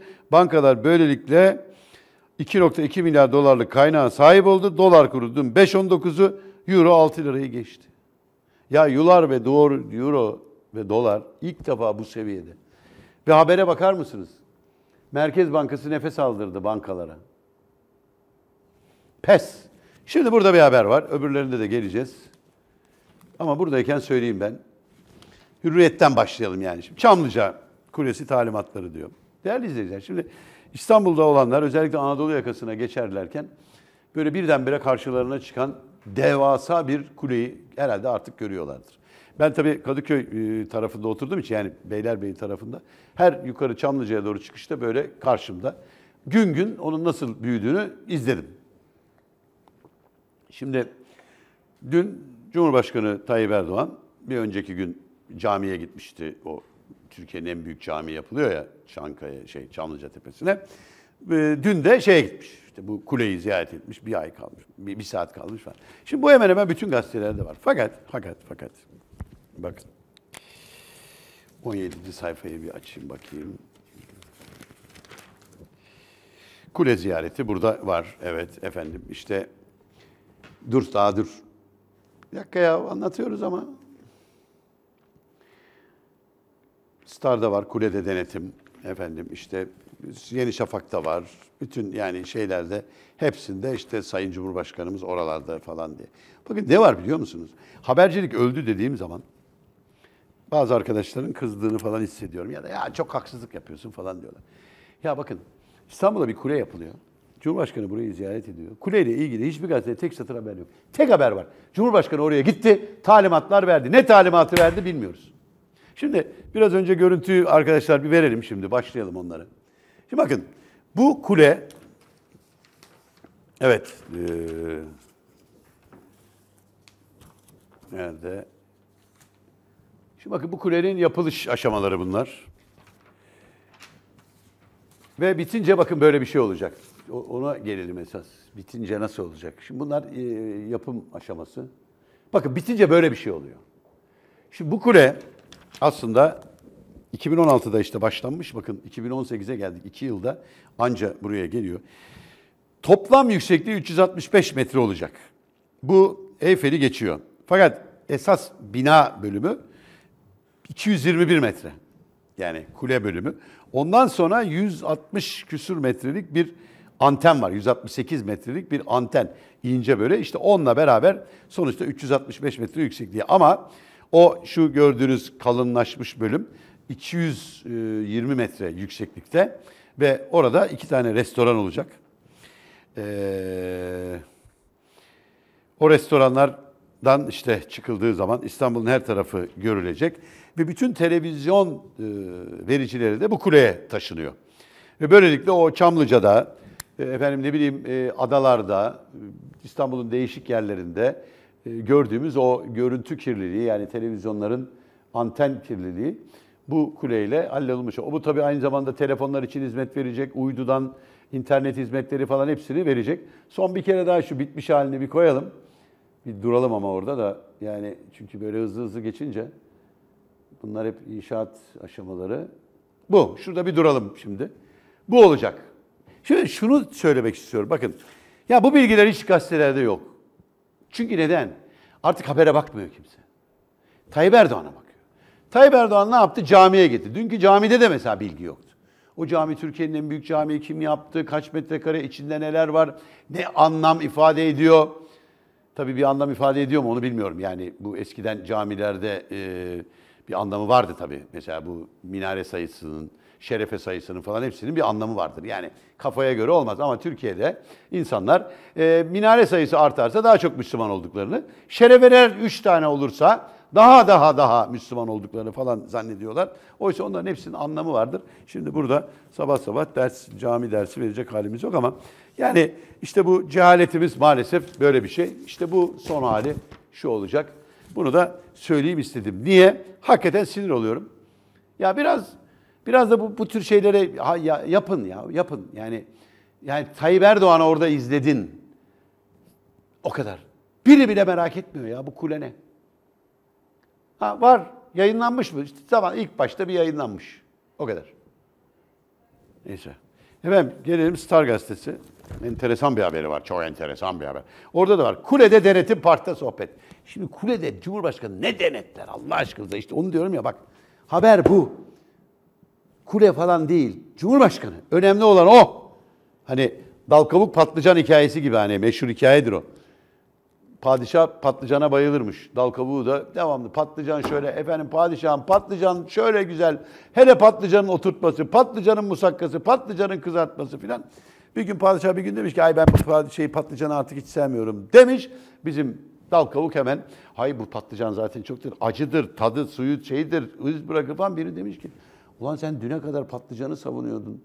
Ne oldu demiş birdenbire. E demiş ki ben padişahın dal kavuğuyum. E, Patlıcanın değil. Şimdi bizim gazeteciler bu hale geldi. Kaçırıyorlar her şeyi. Çünkü önemli olan Tayyip Erdoğan. O gitti orada yazdı. Ya bir merak et bir dön arkana bak kule ne olmuş birine sor. Hayır. Şu gazetecilik öldü. Soru sorma öldü. Soru sormuyor. Soru soranın canını yakıyorlar çünkü. Şşt, şşt, sana ne sorulacağını söyleriz. Ya koca koca gazete genel yayın müdürleri uçağa biniyor. Saray danışmanı soruları dağıtıyor ya bunları soracaksınız diyor ya. Dahası var mı ya? Ya bir kişi daha Tayyip Erdoğan'a Adnan Koca'yı sormadı be. Ya o kadar uçaklarına bindiniz gittiniz. Yani Türkiye'de bir dönem herkes ne oldu Adnan Hoca bitti bak. Adamlar hapiste. Ama en civcivli olduğu sıralarda Adnan Hoca'yı kimse sormadı. Efendim böyle böyle bir şey var demedi. Çünkü niye? Sorulmayacak dendi. O arada da saçma sapan bir haber çıktı. Efendim Tayyip Erdoğan adam için ahlaksız, rezil falan demiş. Hemen ertesi gün düzeltme yayınladılar. O da kaynadı. Efendim o Adnan Hoca için değil bir komşusu varmış. Fethullahçı, cemaatçiymiş. Onun için söylemiş çok sahtekar adam da yoksa Adnan Hoca için böyle bir çap söylemedi diye saraydan açıklama yapıldı. Niye saray Adnan Hoca olayına hiç girmiyor? Ne var orada? Ona rağmen mi yapıldı yoksa bu operasyon? O mümkün değil. Peki ne saklanıyor? Niye hiçbir gazeteci mesela sormuyor? Çünkü yani niye sormuyor derken efendim her şeyi Cumhurbaşkanı'na mı soracağız? Öyle değil. Adnan Hoca yakalandığında Tayyip Erdoğan'ı soruyor. Diyor ki haberi var mı? Bak diyor onu zora sokmak için beni alıyorsunuz diyor. Geç. Şimdi Star'ın ilginç, çok müthiş bir haberi var ya. Bayıldım, bayıldım. Bronson sokağa ajan kaynıyor diyor. Bak şimdi. Son zamanlarda gördüğüm en absürt, en akıl dışı haberlerden biri bu. İşte çaresizlikten ne yapacaklarını bilemiyorlar. Tabii dolar 5 lira. Var mı bakayım? Tasarruf mevduatları 1 trilyon lirayı aştı bak ekonomi haberi. Günlük kiralıklara 2 milyon ceza. Ekonomi haberi. Dep dep dep dep dep dep. Yok. Şimdi ekonomiye bakıyorum bir dakika. Altın çağrıya esnaf vatandaştan destek. Hani diyor ya altın ve dövizini bozdur. Herkes altınını bozduruyormuş. Haber o. Bak. Merkezden döviz hamlesi. Allah Allah. Geçelim. Şimdi dedim ya bunları haber yapamayınca böyle abuk sabuk haberleri manşet yapıyorlar. Bronson sokağa ajan kaynıyor. ABD casusu Bronson'un İzmir'deki evinin bulunduğu sokakta siyah ve Mossad'a bağlı istihbarat elemanlarının hareketliliği tespit edildi. Türk Emniyeti bölgede atılan her adımı anlık takibe aldı. Vay be. Vay vay vay vay. Yabancı istihbarat örgütlerinin ajan Bronson'un evinin bulunduğu Işılay Saygın sokakta dış dikkat çeken aşırı faaliyetleri Türk istihbaratını da teyakkuza geçirdi. Bronson'un kaçma, kaçırılma ihtimali üzerine mahalle tamamen ablukaya alındı. Tüm girişler ve çıkışlar sıfır tolerans, zafiyet prensibiyle kontrol edilmeye başlandı. Varlıkları tespit edilen görüntülü takibe alınan yabancı istihbarat elemanlarına henüz suç unsuru oluşturacak bir olaya karışmadıkları gerekçesiyle müdahale edilmedi. Attıkları her adım, aldıkları her nefes izlenen SİHA ve Mossad elemanları ile Türk istihbaratçılar arasında karşılıklı sürtüşmeler de yaşanıldığı öğrendi. Ya kardeşim haberin neresinden tutayım ya? Casus olduğunu, ajan olduğunu biliyorsun. Bak, tespit ettin. Fakat suç işlemedikleri için dokun... La oğlum, kendine gel. Casusluk suç mu değil mi? Bak sen diyorsun ki Amerikan casusu. Adamı casusluk yaptığı için hapiste tutuyor musun? Tutuyorsun. Peki öbür casusları tespit etmişsin ama suç işlememişler. Ne yapmalarını bekliyorsun? Casus kaynıyormuş orası. Ama bizim istihbarat darbeyi bile Cumhurbaşkanı'na haber veremeyen MIT sokakta gezene kimin ajan olduğunu biliyormuş. Takibe almış. Ara sıra da sürtüşüyorlar. Omuz mu atıyorlar acaba birbirlerine? Hani iki bakan omuz attı ya böyle tak diye. Sonra ertesi gün belli ki yediler fırçayı tepeden. Onu Haydarbaşı mal varlığına el mi konmuş? Aa. Ha mallarına tedbir konuldu. Niye ki acaba? Yurt dışına çıkış yasağı. Haydarbaş, Bağımsız Türkiye Partisi, dinci bir e, siyasi parti ve lideri özelliği Tayyip Erdoğan'a karşı olması. Anlatabiliyor muyum? Evet, o ayrıntılara bakacağız. Yani başka borç alacak verecek meselesi de olabilir. Başka nedenlerle de olabilir. Bakacağız. Şimdi ya böyle absürt bir haber olabilir mi ya? Madem bu kadar efendim kaçma kaçırılma ihtimali üzerine mahalle tamamen ablukaya bir e, hapse atın. Zaten Amerika'da bak Türkiye'ye bu kadar bela açıyor madem. Atın tekrar hapse. Ha, elinizi tutan ne? Bakın mesela CHP'ye de işte bu yüzden şey yapıyorum. Ya kimse sormadı. Arkadaş bu adam Bundan bir ay önce mahkemeye çıkarıldı mı? Çıkarıldı. Tutukluluğunun bitmesi istendi. Mahkeme reddetti. Hapse döndü. Sonra ne oldu bilmiyoruz. Arada bir ara duruşma yapılmış. Oradan şey hapsi çıktı. Doğrulatamadık. Ben inanamadım. Bakıyorsun haber doğrulatamıyorsun. Bir gün sonra nihayet resmen açıklandı ki Bronson ev hapsine. Peki hangi gerekçeyle? Neden? Yani şimdi cemaatçıların tabii adamları ama 5 günlük 10 günlük bebeğiyle hapse konan kadınlar var. Mesela niye onlar ev hapsinde değil? Onlar da ev hapsinde olur. Ne olmuş ki yani? Nereye kaçacak ki yani? Bilmem nerenin öğretmeni işte bankasıya para yatırdı diye hapse atıyorsun. Kucağında da 10 aylık bebeği, 10 günlük bebeği, yeni doğmuş bebeği filan. E bu adam niye dışarıda kardeşim? Biri izah etsin bunu ne olur. Hakikaten. Hiç merak etmiyor musunuz ya? Bronson neden ev hapsinde? Ne oldu da ev hapsine çıktı? Sonra da mahallesinde filan falan. İşte o biraz önce söylediğim ABD'li komutan, ABD'li NATO Müttefik Kuvvetleri Harekat Komutanı Orgeneral Curtis Scarparotti. İtalyan asıllı demek ki. Scarparotti. Geçtiğimiz hafta devir teslim töreni için geldiği İzmir'de ABD ajanı Brunson'ı ziyaret etmek istemişti. Ancak ABD'li komutanın iki kez teşebbüs etmesine rağmen ziyaretine izin verilmediği öğrenildi. Şimdi bak böyle diyorsun. Ziyaret sanki izin alacak. Üst aramasına izin vermeyen. Bak. Şimdi kendi kendine işte bunu yazan arkadaşlar tamamen unutmuşlar artık. Türkçeyi, mantığı, aklı, zekayı da bir kenara bırakmışlar. Ya izin verilmedi değil. Adam eve girebiliyor. Sadece evin önünde bir belli ki güvenlik konmuş. Üst araması yapıyorlar. Adam da diyor ki ben NATO müttefik komutanlığıyım. Müttefik kuvvetler komutanıyım diyor. Üstümü aratmam diyor. E o zaman geçemezsiniz diyor. Adam ne yapsın yani? Yani haklı olsun diye söylemiyorum. Şunu yazmayı söylüyorum. İzin verilmedi. Başka bir anlam var.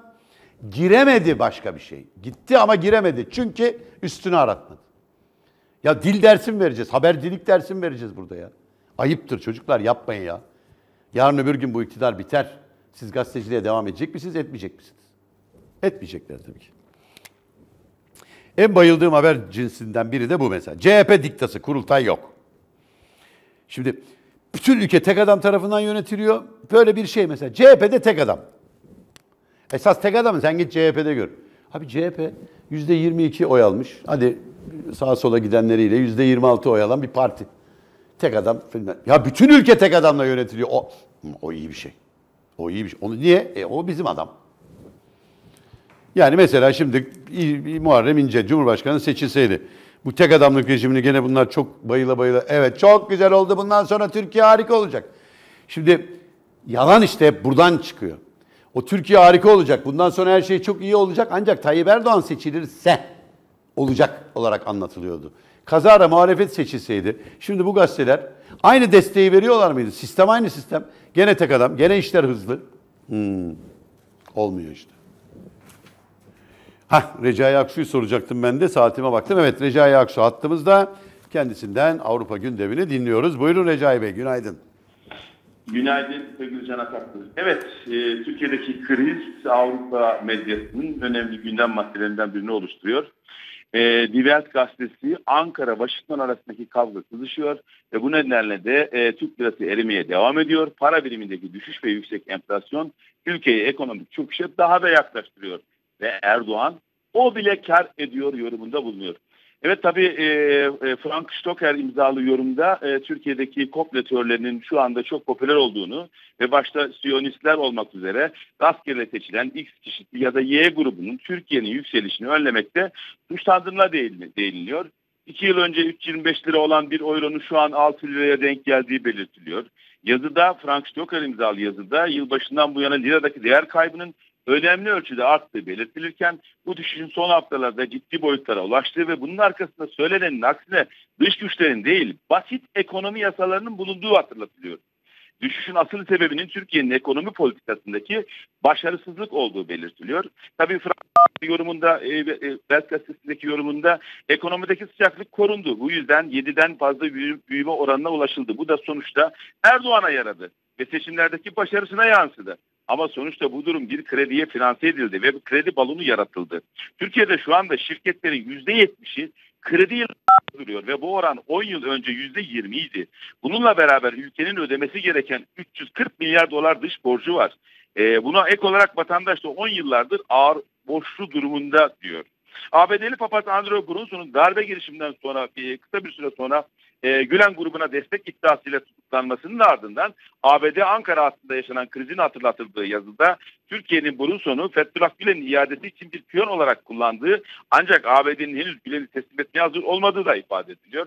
Tabi makalede e, yazıda başka bir hiçbir ülkenin Türkiye kadar yabancı sermayeye bağımlı olmadığı belirtiliyor. Türkiye kendi imkanlarının ötesinde yaşıyor ve ihracat ithalat dengesiz nedeniyle oluşan cari açık ciddi boyutlara ulaştı. Bu açık sadece yurt dışından gelen sermaye girişiyle dengelenebiliyor.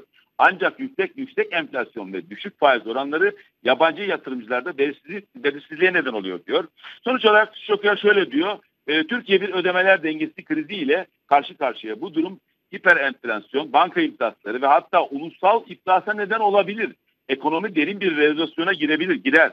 Şirketler iflas eder ve milyonlarca insan işsiz kalır. Sonuçta sadece bir para birimi reformu yeni bir başlangıç olabilir diyor. E, tabii e, gelse bile diyor e, yorumda e Stoker e, Erdoğan'ın bu durumdan fayda e, sağladığını iddia ediliyor. Stoker'e göre Türkiye'de son yaşanan krizle birlikte muhalefetin bile ABD'ye karşı Erdoğan'ın yanında yer almasıyla nadir rastlanan bir siyasi birlik ortaya çıktı. Bu nedenle Erdoğan kendisini neredeyse tüm Türkiye halkını kapsayan bir cephenin öncüsü konumunda bulabilir diyor ve son olarak Türkiye halkının paralarının nasıl değer kaybettiğini izlemek, tasarruflarını korumak ve en kötü senaryoda ülkelerinin olası iflasının sonuçlarına katlanmak zorunda olduğunu da belirtiyor. Evet tabii bu arada e, e, Bronson krizinden dolayı özel sektörün borç yükünün 100 milyar e, o, e, TL'yi arttığı, arttığı da ifade ediliyor medyada. Toplamda 6 işlem günü içerisinde Türk şirketlerinin üzerindeki dış borç yükü TL bazında 100 milyar liradan fazla artmış olduğu deniyor. E, merkezi Londra'da bulunan e, Blue Corporate ve yönetimi şirketinin gelişmekte olan piyasalar masasından stratejist Timothy Art'a göre dolar TL'deki yükseliş ile ilgili olarak böylesine bir zorlukla karşılaşan bir gelişmekte olan ülkenin piyasaları yatıştırmak için bu kadar az şey yaptığını ilk defa görüyorum bu Merkez Bankası'nın işini daha da zorlaştırıyor yorumda bulunuyor. Tabii en zor, e, en sert kur artışı yorumunda bulunuyor. Bu dün CT'nin haberine göre de Türk lirasının reel değeri ise tarihin en düşük seviyesine indiği ifade ediliyor. E, Harvard Üniversitesi'nden ekonomist Tony Rodriguez'in e, açıklamasına yer veriliyor. Türkiye dalgalı kur rejiminin ilk kur krizini yaşıyor. Bütün öncekiler kurun sabit tutulduğu ya da, da ayarlandığı zamanlardır diyor. Bu kriz ise zaman ya zamana yayıldı. Bu hükümet bunu görmezden geldi yorumunda bulunuyor. Evet, e, bu arada Almanya'da e, Anayasayı Koruma Örgütü'nün teşkilatının bir açıklaması var. Küçük yaşta radikalleşmelerle ilgili. Almanya'da onlarca küçük çocuğun İslamcı aileler tarafından radikalleştirildiği açıklandı. Almanya'nın İç İstihbarat Kurumu Federal Anayasayı Koruma Teşkilatı Almanya'daki İslamcı ailelerde yetişen çocuklara karşı dikkatli olunması uyarısında bulundu. E, Funko Medya grubuna bağlı yayın organlarının teşkilatların yeni analizini aslen yayınladığı habere göre e, söz konusu çocukların anımsanmayacak tehlikeli potansiyeli oluşturduğunu ve küçük çocuklarla gençlerin küçük yaşta ve daha hızlı radikalleştirildiğine yer veriliyor.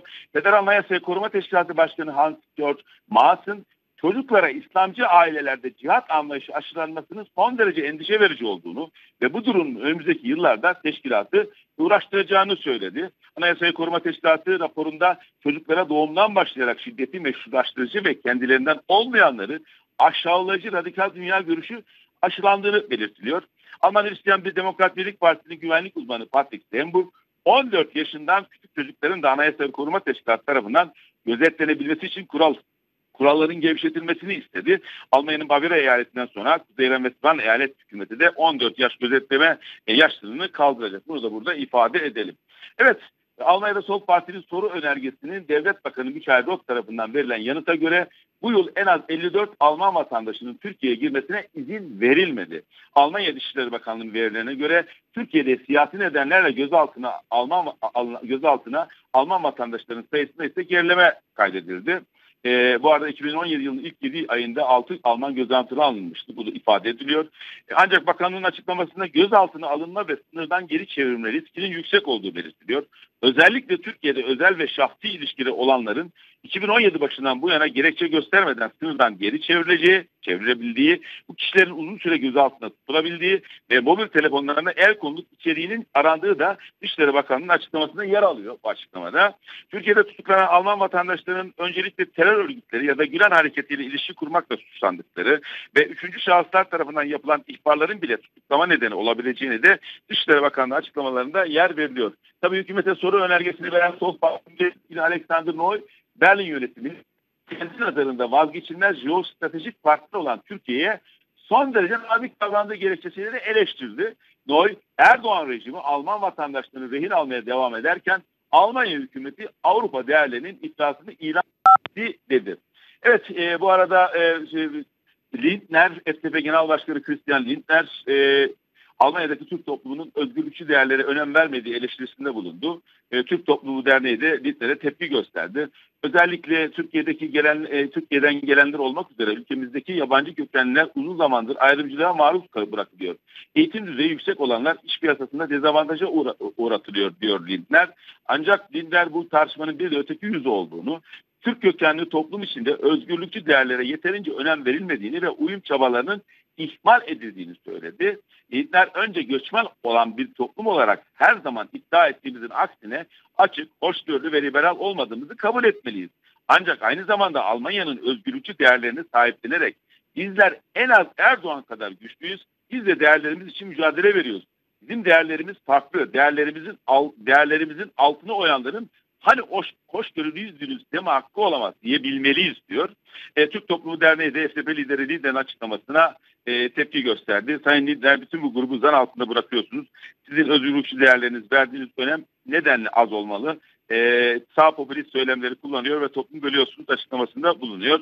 Öte yandan Target Spiegel gazetesinde de konuşan e, Aşağı Saksonya Eyalet Başkanı, Başbakanı Stefan Weil toplumumuzdaki Alman çoğunluk ırkçılık sorunumuzun olduğunu e, daha fazla görmezden gelip zararsızmış gibi gösteremez dedi. Siyasete güven ve güvenlik sağlama görevinin düştüğünü belirten Weil, mülteci krizinde devletin aşırı derecede zorlanması güvensizliğe yol açtı ve sağ popülist kundakçıların kışkırtıcılık yapıp toplumu bölmesini kolaylaştırdığı yorumunda bulundu. Evet tabii bugün e, İran, e, ABD'nin İran'a yönelik yaptırımları e, bu sabah saat e, 07'de başladı. E, buna yönelik olarak İran Cumhurbaşkanı Hasan Ruhani ABD'nin ülkesine yönelik ambargoları yeniden devreye sokmasını kınadı ve yaptırımları İranlar arasında bölünme tohumları ekmeyi amaçlayan psikolojik bir savaş diye tanımladı.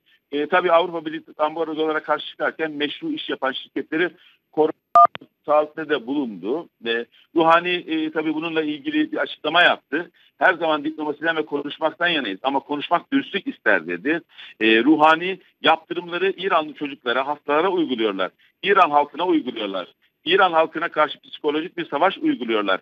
İranlar arasında çatışmayı körüklemeye çalışıyorlar. Diyelim ki bir düşmanınız var ve onu bıçaklıyorsunuz. Sonra diyorsunuz ki onunla konuşmak istiyorsunuz. Burada yapılacak ilk şey bıçağı yerinden çıkarmaktır diyor Ruhani. ABD Başkanı Trump İran'a en yüksek derecede ekonomik yaptırımlar uygularken bu ülkeyle her an masaya oturmaya açık olduğunu da tabii bu arada e, duyurmuştu. Bunu da buradan e, ifade edelim. Tabii bu bir ilk adım geldi. E, e, Trump yönetiminin İran'a yatırımların ilk birimini yeniden yürürlüğe koyarken İran Merkez Bankası döviz bürolarına yönelik tasfiye, yasağı kaldırdı. Tahran bu adımla çok ihtiyaç duyduğu güçlü para birimlerini ülkeye getirmeyi amaçlıyor. E, tabii Avrupa Birliği tabii e, Avrupalı e, AB Avrupalı şirketleri yaptırımlardan korumak için devreye girdi bununla ilgili olarak. Avrupa Birliği Amerika Birleşik Devletleri'nin İran'a yönelik devreye soktuğu yaptırımlardan Avrupalı şirketleri korumak için harekete geçti. Avrupa Komisyonu yaptırımların devreye girmesiyle eş zamanlı olarak engelleyici mevzuatı yürürlüğe sokacaklarını duyurdu. Mevzuat e, mekanizması ABD Mahkemesi kararlarının Avrupa'daki olası etkilerinin önüne geçmeyi hedefliyor. Hangi tarafın neden olduğuna bakmaksızın Avrupalı şirketlerin yaptırımlardan doğacak olası zararlarının giderilmesine imkan tanıyor. Önlemlerin hedefinde ABD'nin tek taraflı olarak çek, e, İran'la varılan nükleer anlaşmayı kurtarma çabası bulunuyor. Ee, İran'a yönelik yaptırmanın devreye sokulması saatler kadar tabii bu ortak bir açıklama da yapıldı. AB Dış İlişkiler ve Güvenlik Politikası Yüksek Temsilcisi Federica Mogherini ile Almanya İngiltere'nin Dışişleri Bakanları tarafından yapılan ortak açıklamada İran'la 2015'te varılan anlaşmanın yürümekte ve hedefini yerine getirmekte olduğu ifade edildi. Ayrıca İran'la yapılan nükleer anlaşmanın Avrupa'nın, bölgenin ve dünyanın güvenliği için önemli olduğu da dile getirildi. Evet son olarak e, spor Ee, Manchester United'ın yeni 10 numarası belli oldu. Ee, son olarak Zlatan İbrahimovic'in sırtına geçirdiği 10 numaralı formanın yeni sahibi Manchester United altyapısına yetişen Rashford oldu. Ee, Manchester United'ın Portekizli teknik adamı e, Marcus e, hep bu formayı istiyordu. Doğal olarak şimdiye kadar Wayne Rooney, Zlatan İbrahimovic gibi büyük isimlerin arkasında bu formayı bekledi. Artık bu fırsatı ele geçirdi dedi. Rosport böylece David Beckham'dan sonra Manchester United altyapısından yetişip 10 numaralı formayı giyen ilk isim olacak. Bunu da burada ifade edelim sevgili Can Ataklı. Ee, evet devam edelim. Şimdi Evrensel Gazetesi var önümde. Dolar yükseldikçe yoksulluk artıyor diyor. Kurlar arttıkça gelirler hızla eriyor. Son bir yılda asgari ücret 199 TL artarken açlık sınırı 252 lira artış gösterdi. Açlık sınırı. Kurlar yükseldikçe yoksulluk hızla artıyor. Süt, meyve, sebze ve yumurta fiyatındaki yıllık artış vatandaşı ciddi oranda yoksullaştırdı. 4 kişilik bir ailenin sağlıklı beslenmesi için aylık yapması gereken harcama rakamı 1744 TL.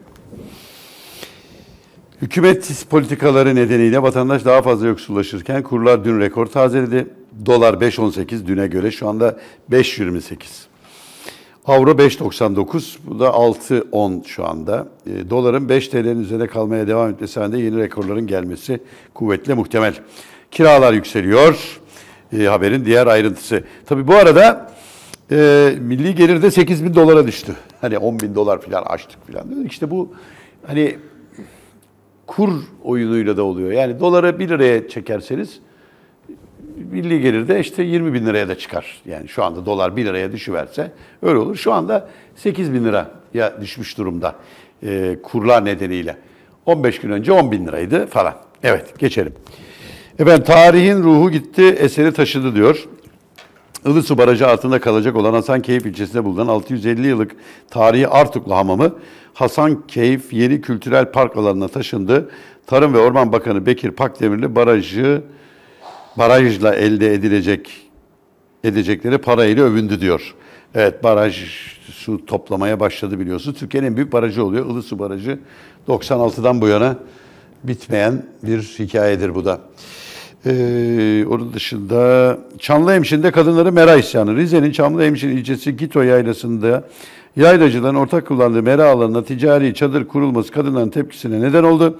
Hayvanlarını otlatamadıklarını belirtilen yaylacı kadınlar çadırı ateşe verdi. Evet, enteresan. Rant alanı Kirazlıtepe'ye imar barışı uğramadı. Kirazlıtepe Marmara Denizi. Aa bir dakika bizim taraflarmış bu. Marmara Denizi ile birlikte Anadolu ve Avrupa'yı birbirine bağlayan üç köprüyü de gören Boğaz manzaralı Üsküdar Kirazlıtepe mahallesinde halk kentsel dönüşüm adı altında yerinden edilmek isteniyor. Üsküdar Belediyesi'nin tek taraflı sözleşme dayattığı ifade eden mahalleli kentsel dönüşüme değil rantsal dönüşüme karşıyız diyerek evlerini terk etmiyor. Bu Kirazlıtepe'nin tamamı AKP'dir ha. Çok enteresan. Yani burada diyorlar ki siz alın paraları gidin. Ya biz buraya daha güzel lüks konutlar yapacağız. Siz burada fazlalıksınız diyorlar. Onlar da diyorlar ki yok biz daha çok para istiyoruz. Kavganın esası o ha bakmayın. Efendim Orta Doğu Gazetesi onların da şeyi e, hedefi tabii iş, e, İyi Parti. İpte ipler koptu. İyi Parti kurucu üyeleri Yusuf Halaçoğlu, Özcan Yeniçöre, Nevzat Bor görevlerinden ve partilerinden istifa ettiler. Halaçoğlu MHP'ye geri dönecek misiniz sorusuna hiçbir partiye gitmemiz, dönmemiz söz konusu değil demiş. Evet yani dönmüyor. CIA'den Bronson'a kaç talimatı? FETÖ ve PKK adına casusluk yaptığı iddiasıyla 35 yıla kadar hapiste yargılanan ama nedense hapsi evde çeken e, tutukluluğunu Bronson'a 15 Temmuz sonrası CIA'den Türkiye'den çık ve hemen ABD'ye dön talimatı geldiği ortaya çıktı. Niye gitmemiş? Emrin Bronson'a verilme nedeni ise 15 Temmuz sonrası kirli ağları ortaya çıkan FETÖ'nün ABD'deki bağlantıların deşifre olması kaygısı olarak değerlendiriliyor. CIA'nin Bronson'un yakalanması halinde tüm oyunu deşifre edeceğinden endişelenip bu hamleyi yaptığı ifade edildi. Ancak Bronson bu çağrıya uymakta geç kalınca yakalandı.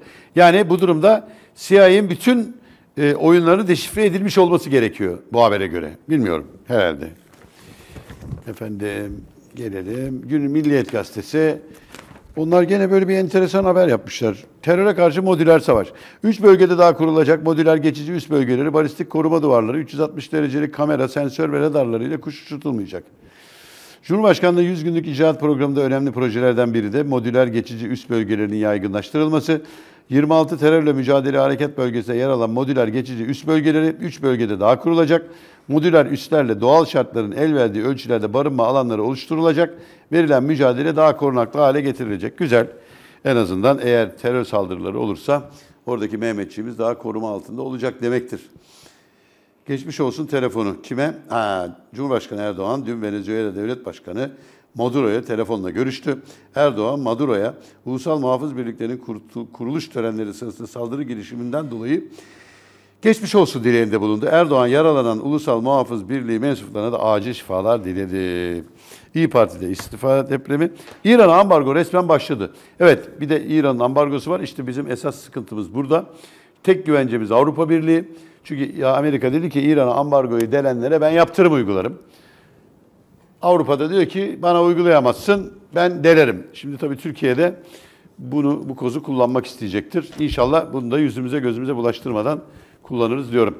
Evet gelelim Sabah gazetesi. Onlar gene ülkenin bunca sorunu varken CHP tabanda kavga, tabanda kavga, tabanda hüsran. CHP yönetimi imzalar 569'da kaldı, kurultay yok dedi. Ta, taban ise hem koltuğa yapışan yönetim hem imza toplayamayan muhaliflere tepkili bir kongre bile yapamadılar. Güzel. De manşet niye? Neyse.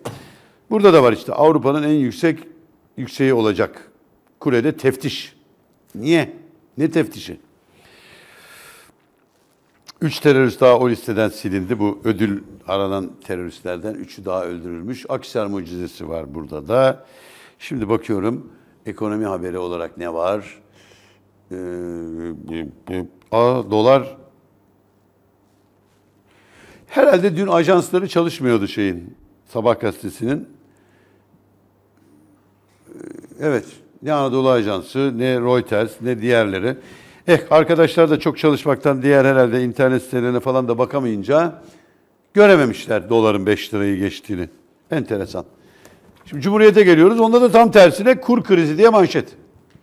Kardeşim etmeyin, eylemeyin. Adamlar görmek istemiyorlar. Böyle burunlarına burunlarına sokmak ayıp olmuyor mu? Liranın üçte biri eridi. 3.31.47 yeni rekor. Ekonomist Timothy Ash kurdaki yükselişin tehlikeli bir hal aldığını vurguladı. Türkiye'nin Eylül ayındaki orta vadeli planı beklenem bekleyebileceğini düşünmediğini söyleyen Aş, piyasalardaki son gelişmeleri trafik kazasını izlemek gibi diye özetledi diyor. Hukuk ve siyasetteki yalpalanmalar Türkiye'deki ekonomik sarsıntıyı derinleştiriyor. Ee, kur krizi diyor manşette de. ABD'li rahip Andre Brunson'a ev hapsi verilmesi sonrası piyasalarda yaptırım gerginliği devam ediyor. Dolar TL dün rekor üstüne rekor kırarak son en son 5.3147 ile tarihi zirvesini yeniledi. Euro TL 6.1 lirayı gördü. Merkezin müdahalesi artışı durdurmadı. TL dolar karşısında bir günde 4.5 avro, avro karşısında 4.35 %4.35 geriledi. Gelişmelerle haftalık ortalama dolar TL kurunun yıllık artış oranı %40'ı geçerek 2008 yılındaki küresel krizi bile geride bıraktı. Mevduat faizleri de %15-66 seviyesine yükselerek 2009'dan bu yana en yüksek oranı gördü. Bronson krizi Türk şirketlerinin dış borç yükünü 6 günde 118 milyar arttırdı. TL olarak tabii. Genel merkez imza sayısı yetersiz dedi. Muhalifler kurultayda ısrarlı tartışma devam ediyor. Ne tartışması var onu da bilemiyorum. Kurultay yok yani zorla gidip bir yerde kurultay toplayacak halleri yok ya. Ha çok zorlanırlarsa toplanacak. Bana göre toplanacak da önce başka bir şey yapacaklar gibi geliyor. Yani çünkü şey geliyor bana. Gelen tepkilere de bakıyorum bazen. Hani sanki Kılıçdaroğlu tutuluyor da efendim işte ince falan. Hayır ısrarla söylüyorum. Burada bir taraf tutma falan yok. Cumhuriyet Halk Partisi seçim gecesi ne kadar hazırlıksız olduğunu ve aslında halkı da bir şekilde boşuna umutlandırdığını gösterdi. Onun için zaten Kılıçdaroğlu başta olmak üzere bu yönetim bir zafiyeti ortada. Ama bunları yeni anlatmıyoruz ki. Muharrem İnce olayı çok sıcak ve taze ve bir de hani dışarıdan böyle bıçaklama gibi geldiği için belki onun adını daha fazla telaffuz etti. Ama ısrarla söylüyorum. Muharrem İnce genel baş bırakın lider, genel başkan olamayacağını gösterdi bana göre. Yani çünkü bakın Orta Doğu Teknik Üniversitesi'ne bile gitmeyen bir genel başkan adayı olmaz.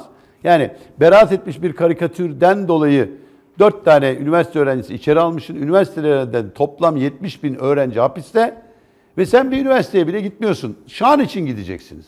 Yani böyle bir şey, liderlik böyle bir şey. Yani hem rahat oturacağım, eh benim de yani ona mı ayıracak vaktim falan dediniz mi olmuyor. Muharrem İnce'nin konuşulmasının sebebi o çok aktif. Ya bir taraftan sanki kendi yokmuş gibi, öbür taraftan ben başkanım, ben başkanım. Ben de diyorum ki kurultay toplanmalı mı? Evet. Parti hesaplaşmalı mı? Evet. Ama şunu diyemezsiniz.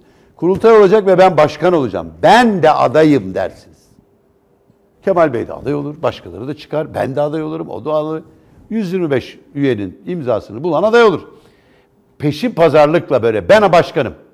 Hatta öyle ki 2009'da da şey 2023'te de ben şeyim e, Cumhurbaşkanı adayım. Bir kere ya bunu mesela söyleme diyorum.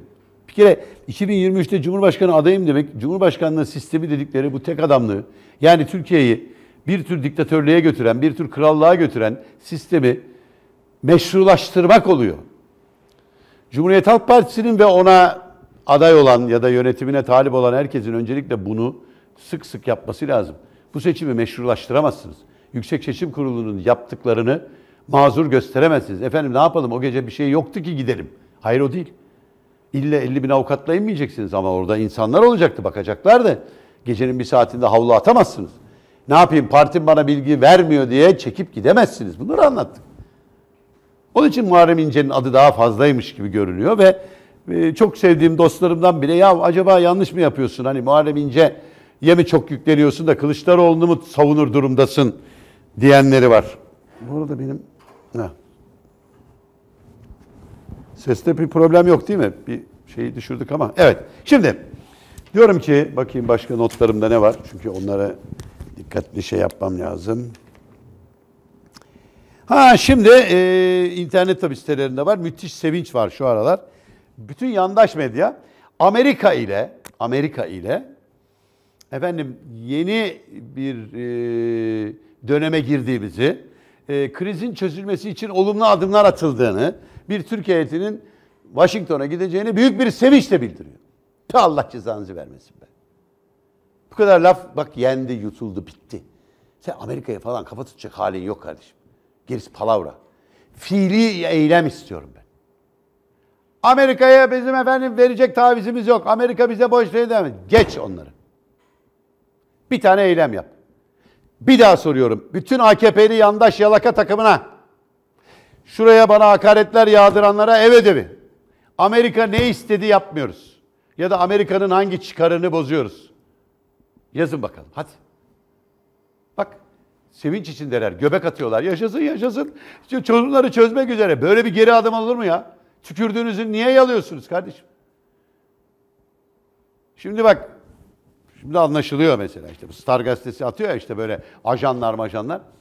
Yarın bir anda aa Amerikalı kaçmış. Hay Allah. Olabilir mi? Olabilir. Onun dikkatinizi çekeyim. Ee, şimdi gelelim abi ekonomi sayfaları. Onlara bayılıyorum ben. Şimdi bu doların 5 lira olduğunda mesela kaç dakikam var? Oo, çok az var. Tamam. 5-6 dakikamız var. Çok hızlı.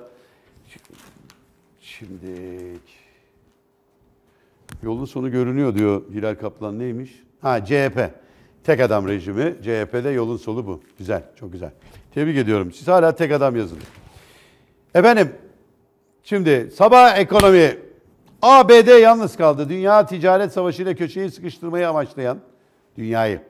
ABD tek başına kaldı. Trump'ın İran'a karşı başlattığı ambargolara AB ülkeleri ortak bir açıklamayla tepki gösterdi. Avrupa, İran'da iş yapan firmaların garantide olduğunu duyurdu. Amerika çok fena sıkıştı. Çok güzel. İşsizlik ödeneğinde koşullar esniyor.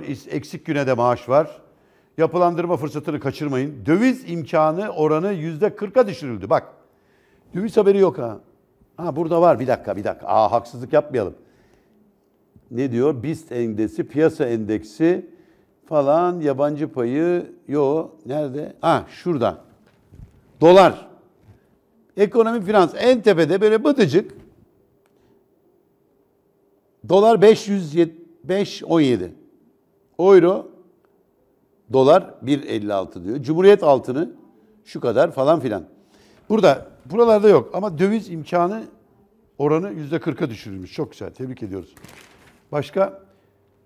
Bak ihracat inşaatçılardan Emlak Bankası için öneri. Emlak Bankası gayrimenkul fonu olsun.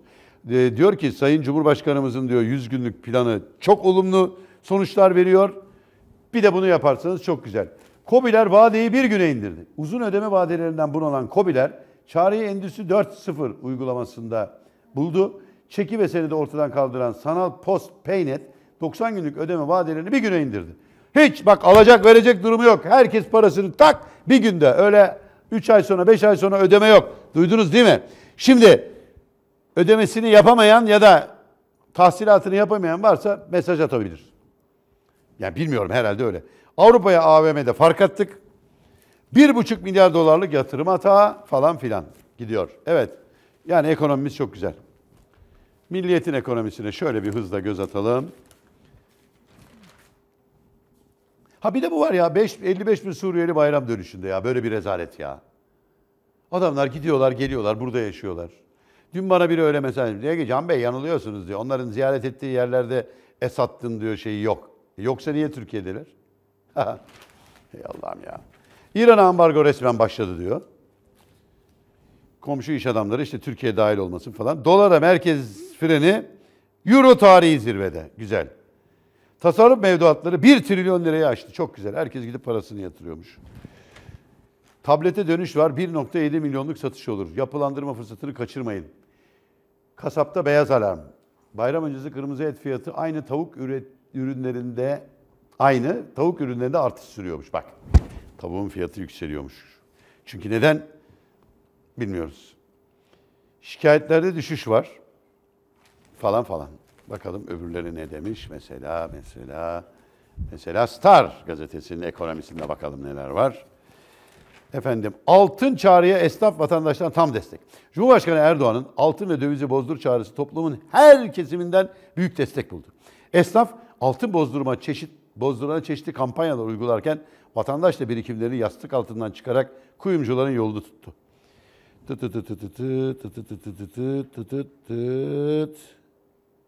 Ha.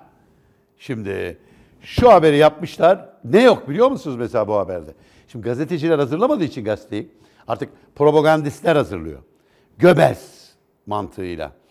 Herkes altınını bozduruyor. Kardeşim yazsanıza mesela dün bir ton altın bozduruldu. 100 kilo altın bozduruldu. 1 kilo altın bozduruldu. Yok. Ama herkes altın bozduruyor. Pes ya. Yabancılar yatırım için sıraya girdi. Allah Allah. Türkiye ekonomisi dışarıda yapılan operasyonlara rağmen yatırımcı bankacı, yabancı yatırımcı ülkemizden vazgeçmiyor. Bunun en büyük kanıtı ise kurumları kapanan şirket sayılarında ortaya çıktı. Ha, kurulan kapanan şirketlerde ortaya çıktı. Türkiye Odalar ve Borsalar Birliği verilerine göre Türkiye'de yılın ilk yarısı kurulan yabancı sermayeli şirket sayısı geçen yılın aynı dönemine göre %103 arttı. Ya şunu desenize Türkiye'yi tamamen yabancı şirketler ele geçiriyor. Türk şirketi kalmıyor. Merkezden döviz hamlesi bak. Efendim Petkim'de çalışan çalışma 2019'da başlayacak. İstanbul'un çöpünden 20 Tesla Roadster çıktı. Türkiye'ye gelen günlük turist sayısı ikiye katlandı. Orada da müjde var. Müjde, müjde, müjde, müjde üstüne. Ne kadar kalmış? Arkadaşlar kaç dakika kaldı dediniz? Bir dakika. Peki. Son bakalım şu hürriyet. Yumurta kanatlandı. Aa bak burada eleştirel haber var. Yü- Turistle tüketim arttı bak bak. Üretici hayvanları gençleştiremedi, fiyatlar zamlandı. Her şeyin bir bahanesi var. Efendim turistler geldi, çok geldi. Ah yumurta fiyatları arttı. Niye? E bu turistler çok yumurta yiyor. E peki yumurtayı yetiştirin verin. Ama işte bizim yumurtacılar gençleştiremediler. Fiyatlar zamlanıyor. Hadi bakalım. Kestane şe- şekeri burada da var ödemiş. Çiğ fiyatta bilmem ne. Elgi ülke falan falan falan. Bir tane daha bakayım şurada var mı? Ha bir de Yeni Şafak'a bakalım. Onların ekonomisinde ne var? Turizmde altın yıl. Çok güzel. Bak burada da yok. Dolar yok. Dolar işte TÜBİTAK destekli doktora yabancı şirket patlaması. Bak burada da var. Müthiş. Abi çok güzel bir ülkede yaşıyoruz ya. Yabancı şirketler patlıyor, turist patlıyor. Dolar da lobi ateşi diyor bak. Dolarda bir şey yok aslında. Ah o dış güçler yok mu? Bir dolar lobisi var. Peki faiz lobisi ne oldu arkadaş? Tasarruf mevduatı 1 trilyonu aştı yaşasın. Müsiyattan Afrika hamlesi bayram havası Laleli'de. Eh doğru Laleli'de bayram havası olur. Çünkü dolar yükseldikçe onlar oradan tekstil ürünlerini Allah ne Türk parasına satıyorlar. Süremiz de dolmuş. Yarın tekrar burada birlikte olacağız. Hepinize iyilikler, esenlikler diliyorum. Hoşçakalın.